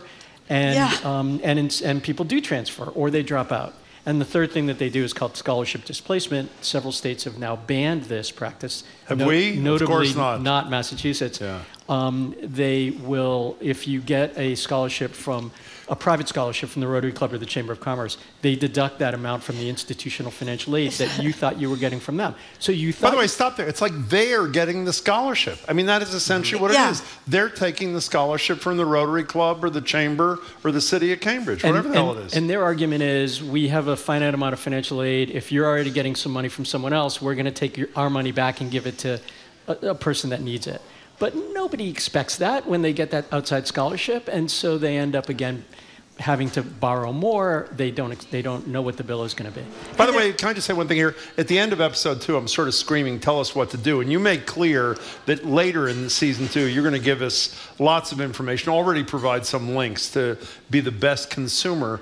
But what is related, I thought the most useful thing you guys said in your first two episodes of season two, so that the mindset is different. You said something like colleges are businesses that a goal of which is to get the most money possible from the customer. And you know, most of us put you know, we understand a mortgage, that's a business transaction. We understand whatever it is, is a business transaction. Most people, I remember back to those thrilling days of yesteryear, don't see the college experience, as expensive as it is, as a business thing. But that is the mindset you have to enter this with, Right, Kirk. and, the, yes? the- and there's so much focus on, on brand name schools and the sticker prices, right? Those ninety thousand dollar headlines, mm-hmm. you know, that we're seeing now. But it's so important to remember that very few people pay ninety thousand dollars a year, mm-hmm. right? Very few people are paying that. The average, dis- you know what the average discount rate now is at private colleges? Half.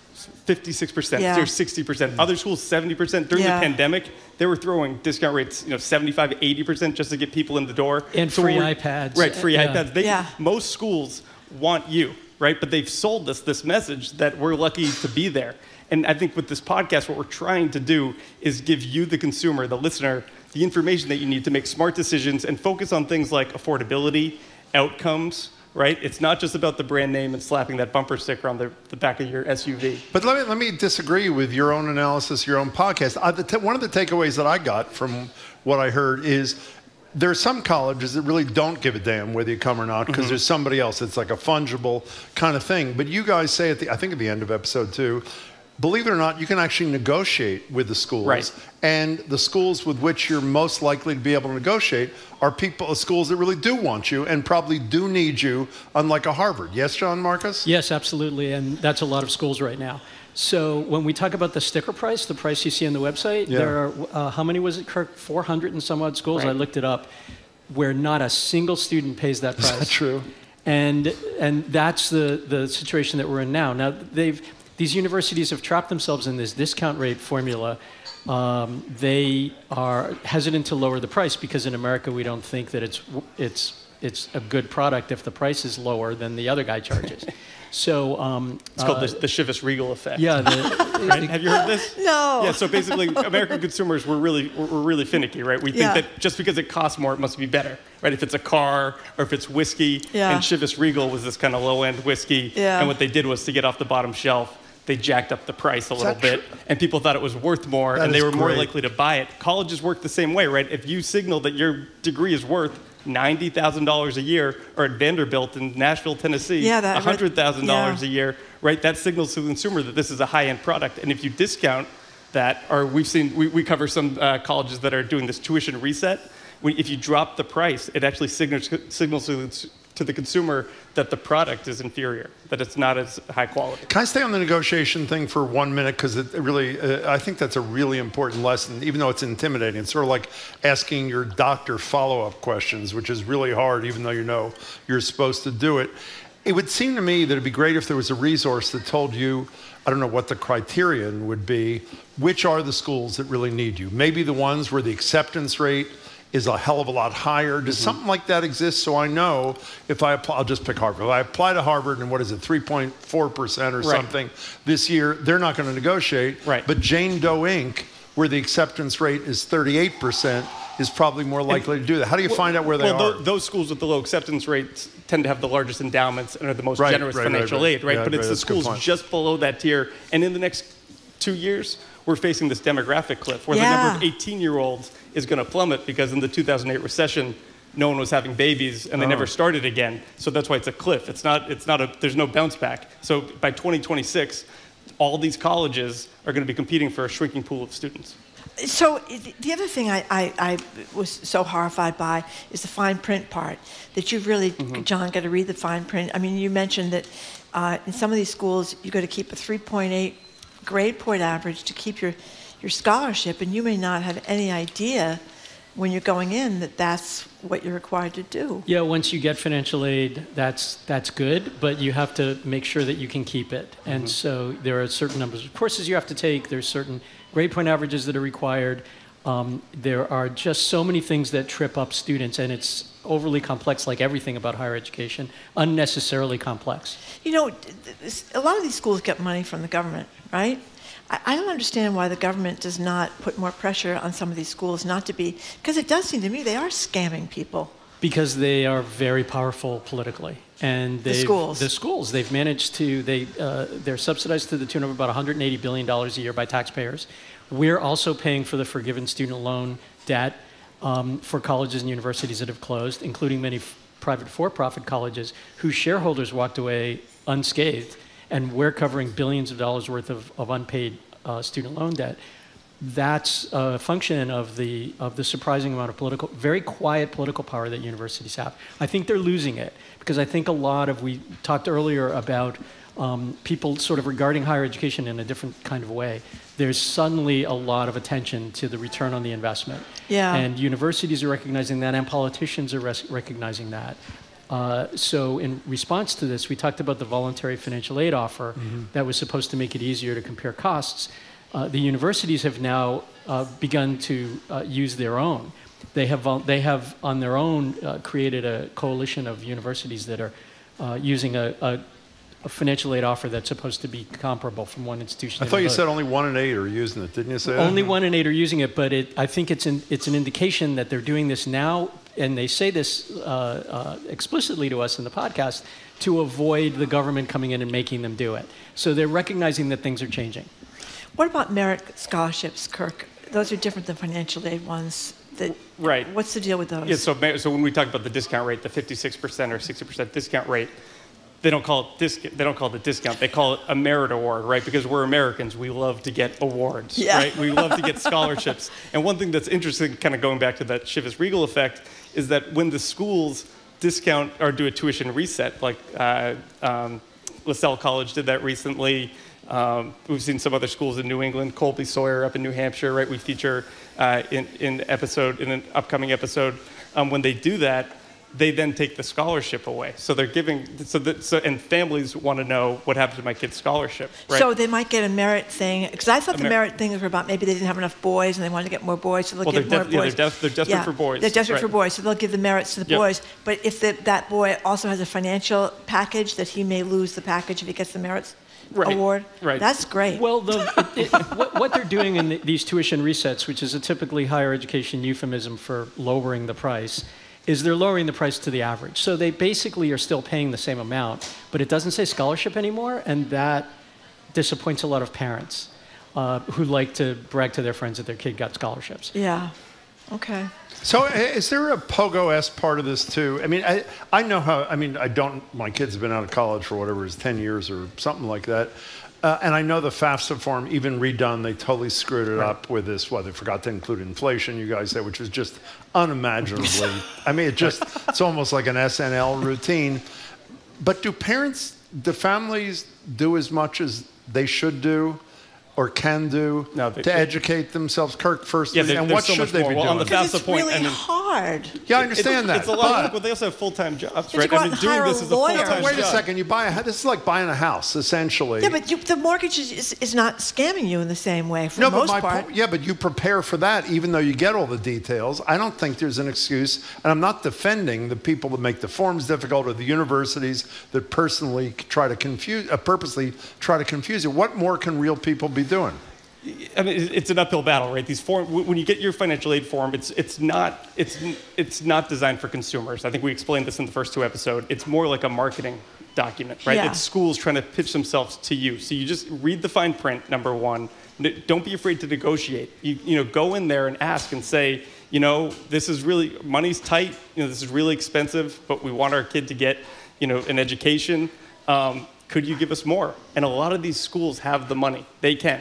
They can. They can give more. They What do you want. do, they call want up you the there. president of the No, college call up the, say- you know, call up the financial aid office. Oh, Call- okay. You know, get in there and, and, and ask these questions and really read the fine print because it's such an important investment. And despite all the skepticism about higher education and colleges, um, all the research shows, you know, 70% of jobs are going to require some kind of education beyond high school in the next few years, right? So it's so important. And right now we have this demographic cliff. It's even our podcast is designed for you know consumers and parents. But it's also, you know, if you're just interested in higher ed and why this is important to society and why it's so important that we figure this out, it's also for you. You know, Jon, getting back to the federal government, the pathetic Congress uh, doing nothing here to help people who are about to confront this, this scary but hugely important decision around their kids and the kids themselves. Didn't you say early in the podcast season, or maybe it was last season, whatever, there are some federal requirements around these things that the colleges just choose to ignore and nobody sanctions them? What are those things? The, every college has to post a net price calculator on its website. Many of them don't work, or they're showing you a price from a previous year or an inaccurate price. They have to report the total cost of attendance, which is tuition fees, room, board, and all your other expenses, including transportation. They often fudge those when they, when, when they, eh, you know, somehow miraculously they raise tuition and all the other costs go down, which doesn't make sense, especially in an inflationary market. So um, they lie. So why is there no enforcement? Uh, uh, I mean, we talked last season. You talked about Varsity Blues, which I know you covered. Kirk, obviously, and they should go after those people. There's no question about it. Why isn't there some sort of? Uh, we have Ayanna Presley with us tomorrow. Congressman Presley wants to talk about the uh, loan forgiveness, which does absolutely is fabulous, but does nothing for the people who are about to start school tomorrow or next year or whatever. What should they be doing here? Well, if you like the bungled rollout of the FAFSA form, that's the same agency that, that regulates higher education, and they're just, they haven't done it. And they haven't done it because the universities are as powerful as they are. Well, the the, because the universities are powerful, because there's been sort of a history of, of hands off, because there's been a congressional kind of support for prop, uh, universities and colleges, including for profit uh, uh, universities and colleges. Have they started saying, by the way, as I'm sitting here sort of raging against, uh, there was a great line you had from some mother calling this a financial colonoscopy, which I love, is so, it's such a perfect description. I am guessing that maybe not in writing, colleges are going to start to defend their insane costs by saying, you know, look what the president just did. He forgave all these loans. You know, another president, four years, eight years down the line, may do the same sort of thing. And even though there's no guarantee, you, um, I shouldn't worry about that? Yeah, I don't think that colleges want to draw attention to the loans. I think one of the Oh, unintended. because they don't even call them loans. Well, they don't even call them loans, Right. and they don't want to remind us about how, how indebted we become That's to a go very to good point. college. That's a and one of the unintended consequences of the Biden push for forgiving student loan debt was to remind everybody how much student loan debt everybody Yeah, has. that's a very and good that I think depressed some college going. so what's what's the most important thing, Kirk, we should have taken away from the first two episodes that we haven't talked about? And give us a preview of what's to come. There are nine this year. What is Yeah, it? Yeah, there's eight episodes, so Eight, it- it's okay. all about paying for college, right? Okay. So the first season was about you know getting into college, and the second season is about figuring out how to pay for it, getting through, and what you get out of it. The, the last episode is all about what you actually learn and earn when you graduate. And the research shows us we really don't know. So after all of this, after you spend all of your time trying to get into college and figure out how to pay for it, in the end, like there's very little, there's no exit exam, right? Yeah. For most for most degrees, um, and colleges are, are grappling with that. But the, the other episodes we're going to look at, um, we're looking at uh, junk fees, things like graduation uh, graduation fees. Um, there's one school in New York that has a uh, an uh, Academic excellence, excellence fee. fee. It's like eight thousand dollars. Eight thousand dollars a semester. Right. We're trying to ask very simple questions and then go deep on those. So we're So wait, at if you don't pay the academic excellence fee, you don't get excellence. get but if you do, you get a It crappy be. I thought that was tuition, right? Shouldn't tuition cover academic Yeah, excellence? you would think that that I was right? covered. So we're going to ask that question. We're also of a looking at. What with, else? With all these schools around here, you know, we're seeing more and more schools close and merge, right? As the number of students shrinks. Is your school gonna be is your there? school going to close? It's a simple question, but this happened when Mount Ida shut down Right. a That's few years right. ago. Parents started calling me, asking me whether I knew whether the school that they were considering was going to shut down. So we, we talked to uh, um, uh, a researcher at the Clayton Christensen Institute who looks at college closures, and there are things that you can track that might tell you whether your school is at risk of shutting down or merging. Right. We'll show you how to look at this stuff. And, and to answer a question you asked earlier, the bigger takeaway is it's a buyer's market. And we've been conditioned not to think that Yeah. about college. Mhm. You can go really and ask helpful. for more money, and they'll give it to you because they need you. They need you more than you need them. First season was great. First two episodes of season two were terrific. Check it out. It's Yeah. really great. Congratulations to you both. Thanks for you. having Thanks. Uh, like I said before, scam artists. That's what they sound like to me. Misleading, misleading. Yeah, okay, misleading. We'll put it that a nicer way. Kirk Carapezza and Jon Marcus, thank you very much for being here. Uh, they are the co-hosts of College Uncovered. It's a podcast from GBH and the Hechinger Report. Again, Kirk Carapezza and Jon Marcus, College Uncovered. It's a terrific podcast, and if you've got kids about to go to college, you get your you really need to know this stuff. Thank you very much. Up next, we're going to be joined by naturalist Sy Montgomery. She joins us on Zoom. She's talking, going to talk about indigenous communities' attempts to save whales by seeking legal personhood for them. And she's going to comment. We talked before with Michael Norton about rituals that people have, couples have, families have. She's going to talk about rituals that animals have. Sy Montgomery's next. You're listening to Boston Public Radio 89.7 GBH.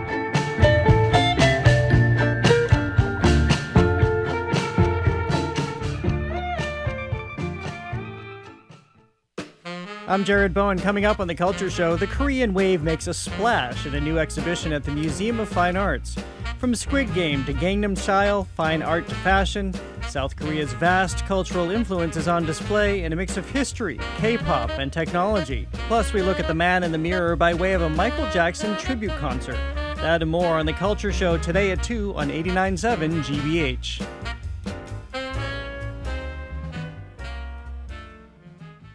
Funding for our programs comes from you and the Lyric Stage, presenting The Drowsy Chaperone. This bubbly love letter to musical theater includes mix ups, mayhem, and a wedding or two. Now through May 12th at Lyric Stage Boston. Tickets at lyricstage.com. And Seasons 4, the outdoor living store on Mass Ave in Lexington, featuring over 100 styles of contemporary and traditional outdoor furniture, plus a wide selection of plants, statuary, and garden accessories. Seasons4.com.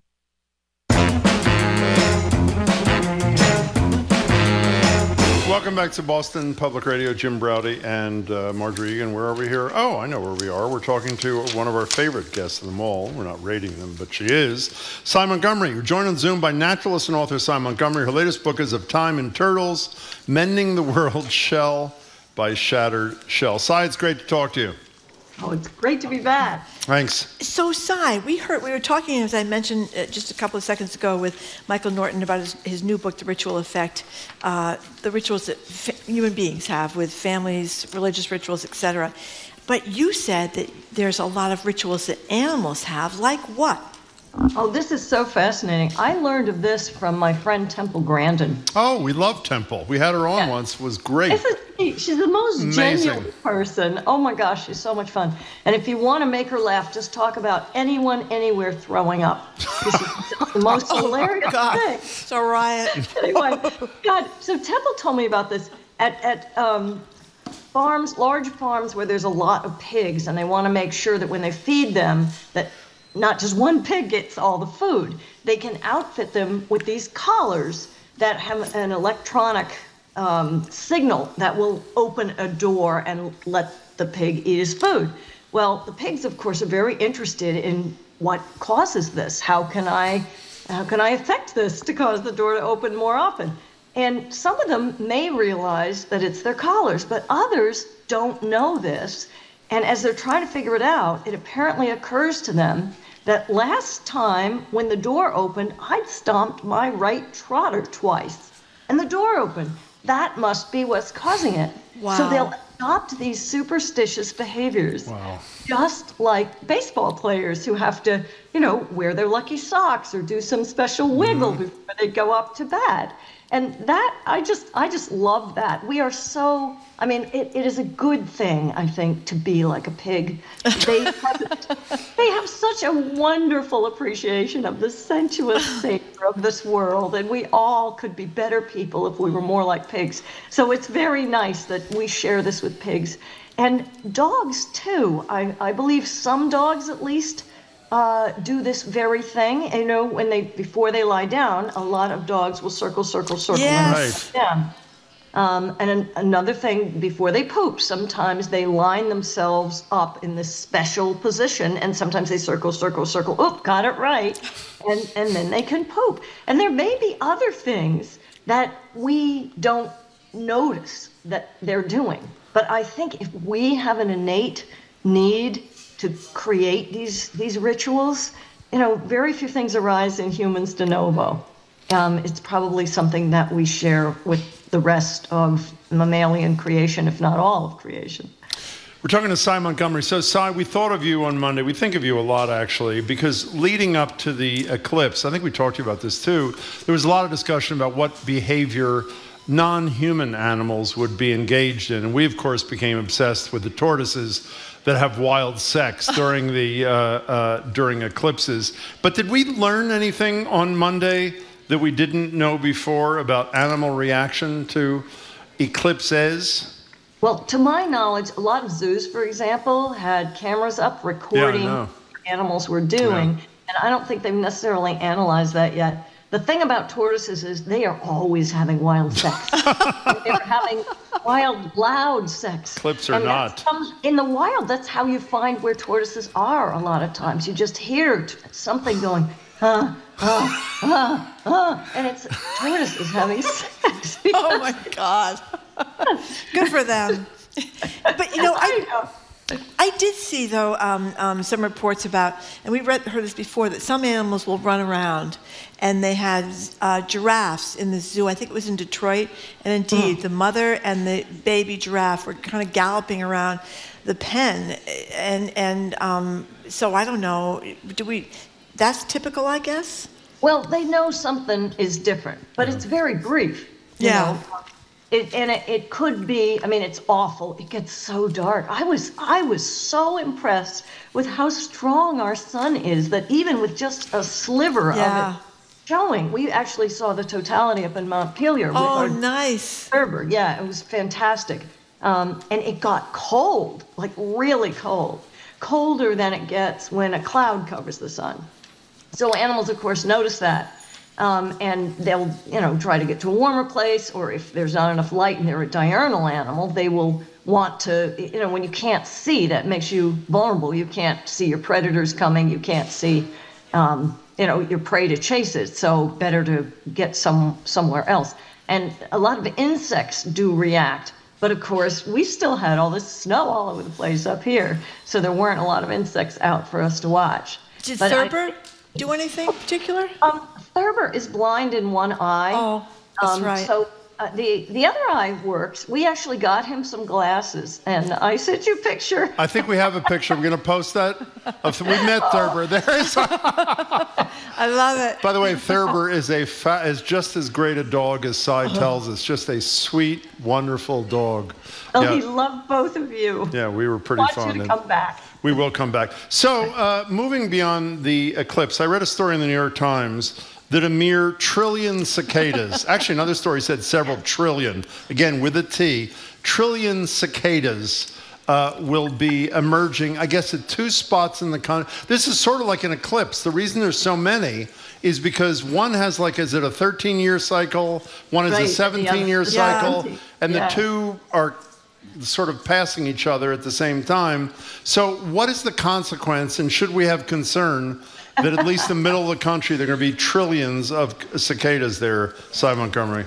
Um, I think we should welcome them. This is a fantastic phenomenon, just like the eclipse. The last time these two broods emerged at Broods, the same right. time, Thomas Jefferson was president. Oh my God.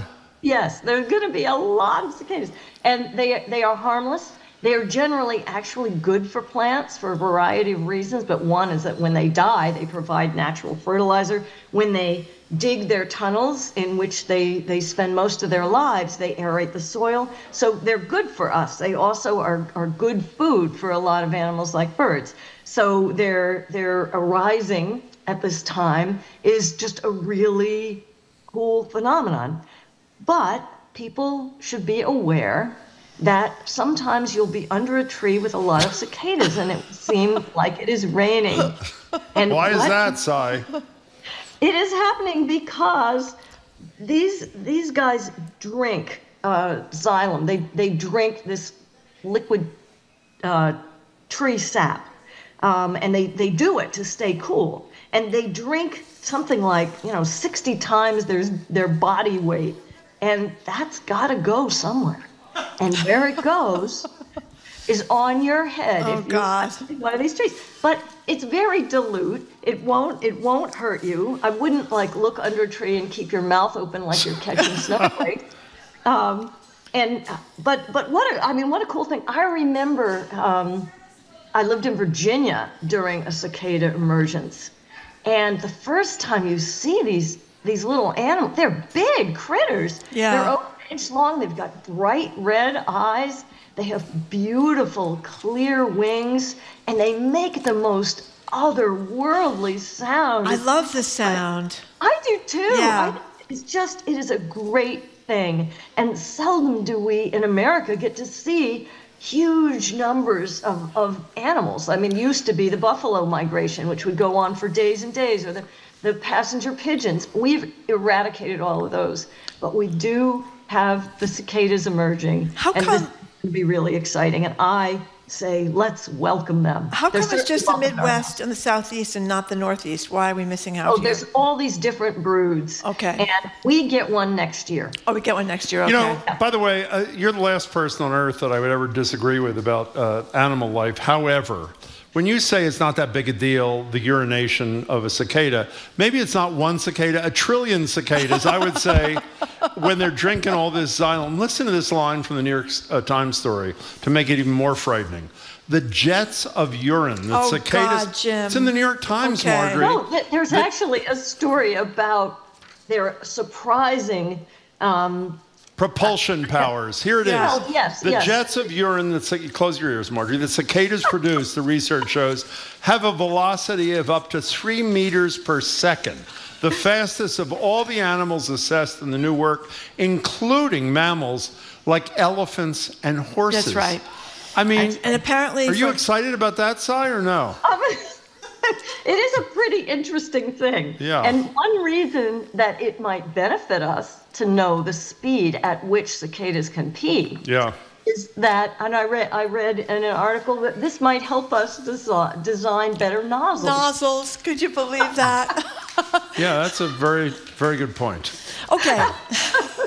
let's let's talk do you know how about. many a tri- by the way, do you know how many a What? trillion is? it's a lot, but It's a don't lot. don't worry about it, Jim. They're not going to be around here, so you don't have to worry about it. How fast? you- Wait, wait. How fast? Speaking of not worried about it, some of us care about our sisters and brothers in other states. Well, they're Uh, not, not going to hurt you. How long are they going to stick around? Uh, they have long lifespan, They're or just going to be around for six weeks. Yeah, Oh, it's okay, And, and, and this, these two broods, they're going to be, oh my gosh, um, northern Georgia, Alabama, Mississippi, Tennessee, Kentucky, Illinois, Missouri, Indiana, Wisconsin, and Iowa. So, so close to home, um, we're going to have protections for horseshoe crabs more than we have I love now. horseshoe crabs. And you know, I, this summer walking on the beach down the Cape, I saw so many dead horseshoe crabs, and I was very upset about it. And I don't know if that's because it had already been used for bait or what's going on there. But what are we doing to um, to help the horseshoe crabs? Well, this is this is really a good thing. Um, and Audubon, Mass Audubon, had a lot to do with this. Um, on March 19, the um, Mass Marine Fisheries Advisory Commission voted to ban the harvest of these animals during their spawning season. And usually, when animals are hunted, you do avoid their breeding season because that's where you make more horseshoe crabs or more deer or more whatever. So that is really, really smart. And there was huge public support for this. Um, one female can lay 80,000 Yeah. eggs.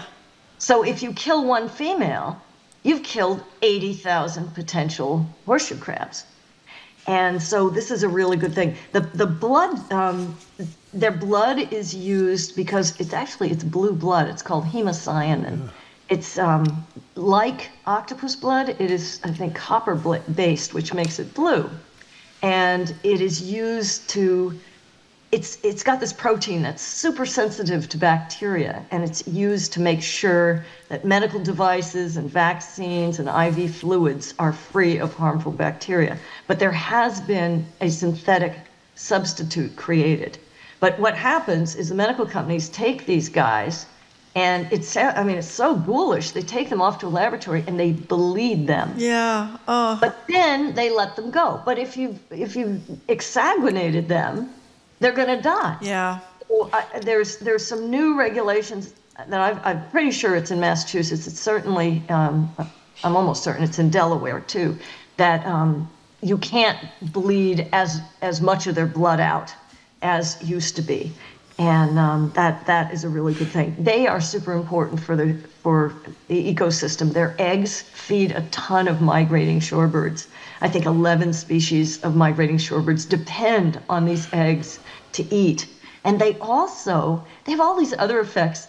They they keep the um, the sediment around coastlines from smushing down. Oh. Because lovely little legs are always digging stuff up. And one other thing I would love to share is that we think they're crabs. We call them crabs, but they're not in the crab family. They are in the spider family. Wow. So it's like the biggest spider you ever saw. They're arachnids. You know, Sy, when we first took our kids to the Cape, I, I, I will always say to them that these are prehistoric creatures. And as you're talking, I can't remember if I made it up or if it was true. Is it, they are like ancient, aren't they? Uh, Oh, am I- 450 million years old. I was you are right. abs- Right. They predate the dinosaurs. That is amazing. So a very successful design. So tell us about these indigenous leaders from New Zealand who want to uh, give whales personhood to protect them. Oh, I love this. These folks, these are people from New Zealand, Tahiti, Tonga, and the Cook Islands. And they signed a treaty to, to guarantee uh, whales as persons freedom of movement, cultural expression, and a healthy environment. And the reason that these folks, the Maori and their relatives um, in that whole area, uh, care so much about whales is that in their creation story, they came to New Zealand, Aotearoa, the land of the long white cloud, either on the backs of whales or they came in canoes following whales. So they consider whales their sacred animal. And um, I think it is just fantastic. I mean, whales are so endangered in our seas by so many things, by climate change and, and chip and uh, ship strikes and fishing entanglement and noise. And they're so valuable to our world, and they have incredible culture. They have individual personalities. I, I love that they're doing this. And it is part of a trend, too, because in that same article, did you see that there's other animals and even rivers that have been granted legal personhood? Bees in Costa Rica, I read about this morning, right? In, in, in leatherback, um, in Panama, leatherback sea turtles. Hmm. But in the U.S., there's a river, the Comanche River, that has been protected similarly. In Ecuador, there is a reserve that has been granted constitutional rights not to be mined. And a lake in Florida had actually sued to protect itself from being polluted. And, and this, this is wonderful. When I think of the word person, person doesn't mean people. I mean, we know all about corporations supposedly being people or being persons, but person, the, the word goes back to an ancient word that means mask of God or an expression of God or an expression of the Creator. And really, rivers and whales and bees and leatherback sea turtles, they all are just as much as we are persons, part of the expression worn or the mask worn by the creation. You were unbelievable, Sy Montgomery. Hey, Sy, before you go, are you about to say something? Well, we have a couple of texts. Oh, here. let's hear them, sure. Here's one about the cicadas. This is from Mike in Walpole. Yeah. Cicada, cicada in the sky. Why'd you do that in my eye? Gee, I'm glad the cows don't fly. and Margery from, I mean, Carol from Watertown wants to know if I, that would be Margery, Yeah. saw dead crabs or just shells that were left by a healthy crab shedding, shedding their skin. I don't know. I saw a lot of shells. I thought I saw a little little legs in them, but I could be wrong. So should I be not concerned about all these these shells of, of horseshoe crabs I see along Well, they, Craigville they Beach? shed um, they they shed the shell around their legs. They have they have an external skeleton or Right. exoskeleton. Yep. As do spiders. And if you've ever seen, I, I don't know, you probably vacuum, but I don't. So I have plenty of exoskeletons of spiders around. Of course you uh, do. In the basement, uh, and it looks like it's a spider, but it's really just his his shed exoskeleton. So I hope that is so. I hope But that is so, a lot of too. animals- A lot The of what? animals do eat them. It's so what? put- what? What'd you say? Um, it, a lot of animals do eat them though, and they'll flip them upside down. Seagulls, for example. Yeah, will that's kill what I was afraid of. It was seagulls Yeah, pecking that might, them to that death. might be. Yeah, Yeah. that could- although you know, gulls, you wouldn't believe this. I mean, even though they're stealing our lobster rolls right out They right out are. of our hands, Tell me about it. Gulls of all species are experiencing a horrendous decline. And you wouldn't necessarily think this at some beaches, but it is true. So they probably, if, if- they're eating a horseshoe crab, at least they're not eating your lobster roll. Well, let me just tell you, not only would I not like to be under a cicada, I would not like, like to be under a seagull, if you know what I mean. Oh, hey, I. Okay. Sy Montgomery, you are fabulous. It is wonderful to talk much. to you, as always. Thank you so much. We've been and so to you. grateful. And we to have you. been speaking with naturalist She's author best. Sy Montgomery. The Her best. latest book is Of Time and Turtles Mending the World Shell by Shattered Shell. Okay, we are done for, the, for today. Thank you very much for listening to another edition of Boston Public Radio. Thank you to people that came down Thank to you the all. We Boston Public it. Library. Thank you. Uh, happy birthday, rather, to John, John Parker. Parker. Parker, John, Happy we hope you have a John. wonderful day today. You can tune in tomorrow. Congresswoman Ayanna Presley's going to be with us. Chuck Todd is back. We're going to talk to him about a lot of things, including the dust up at NBC over there hiring briefly a election denier. We're going to talk with former Massachusetts Secretary of Public Safety Andrea Cabral, UMass pollster uh, Tatishe Nteta, and Boston Globe columnist Shirley Leung. We want to thank our crew, Zoe Matthews, Aidan Conley, Nicole Garcia, Hannah Loss, our engineer, whose birthday is today, John McClaw Parker. Word on the street, was we said, that this is his lucky day, and we're honored to have John on board. We want to thank as well our executive producer, Jane Bologna. You got to see the eclipse in person, and we missed out, Jim, is all I can say. Everybody's It was pretty great on the roof at GBHQ. Well, Maybe not not, as- as, great. not as great. It was good. Anyway, special thanks to our BPL team, Maddie Geyer, Matthew Glover, Carly Cochran, Isabella Karen, and thanks to our hosts of the Newsfeed Cafe and the guys across the street at the Lenox Hotel. Stay tuned to the Culture Show with Jared Bowen that is starting right after the 2 o'clock news here at GBH 89.7. I'm Margery Eagan. I'm Jim Braude. Thanks so much for tuning in today. Hope you can tune in tomorrow. We have a podcast. If you haven't heard enough of us, one three hours and one and a half hour, you can get the Boston Public Radio aptly named podcast. Thanks for listening. Have a great day.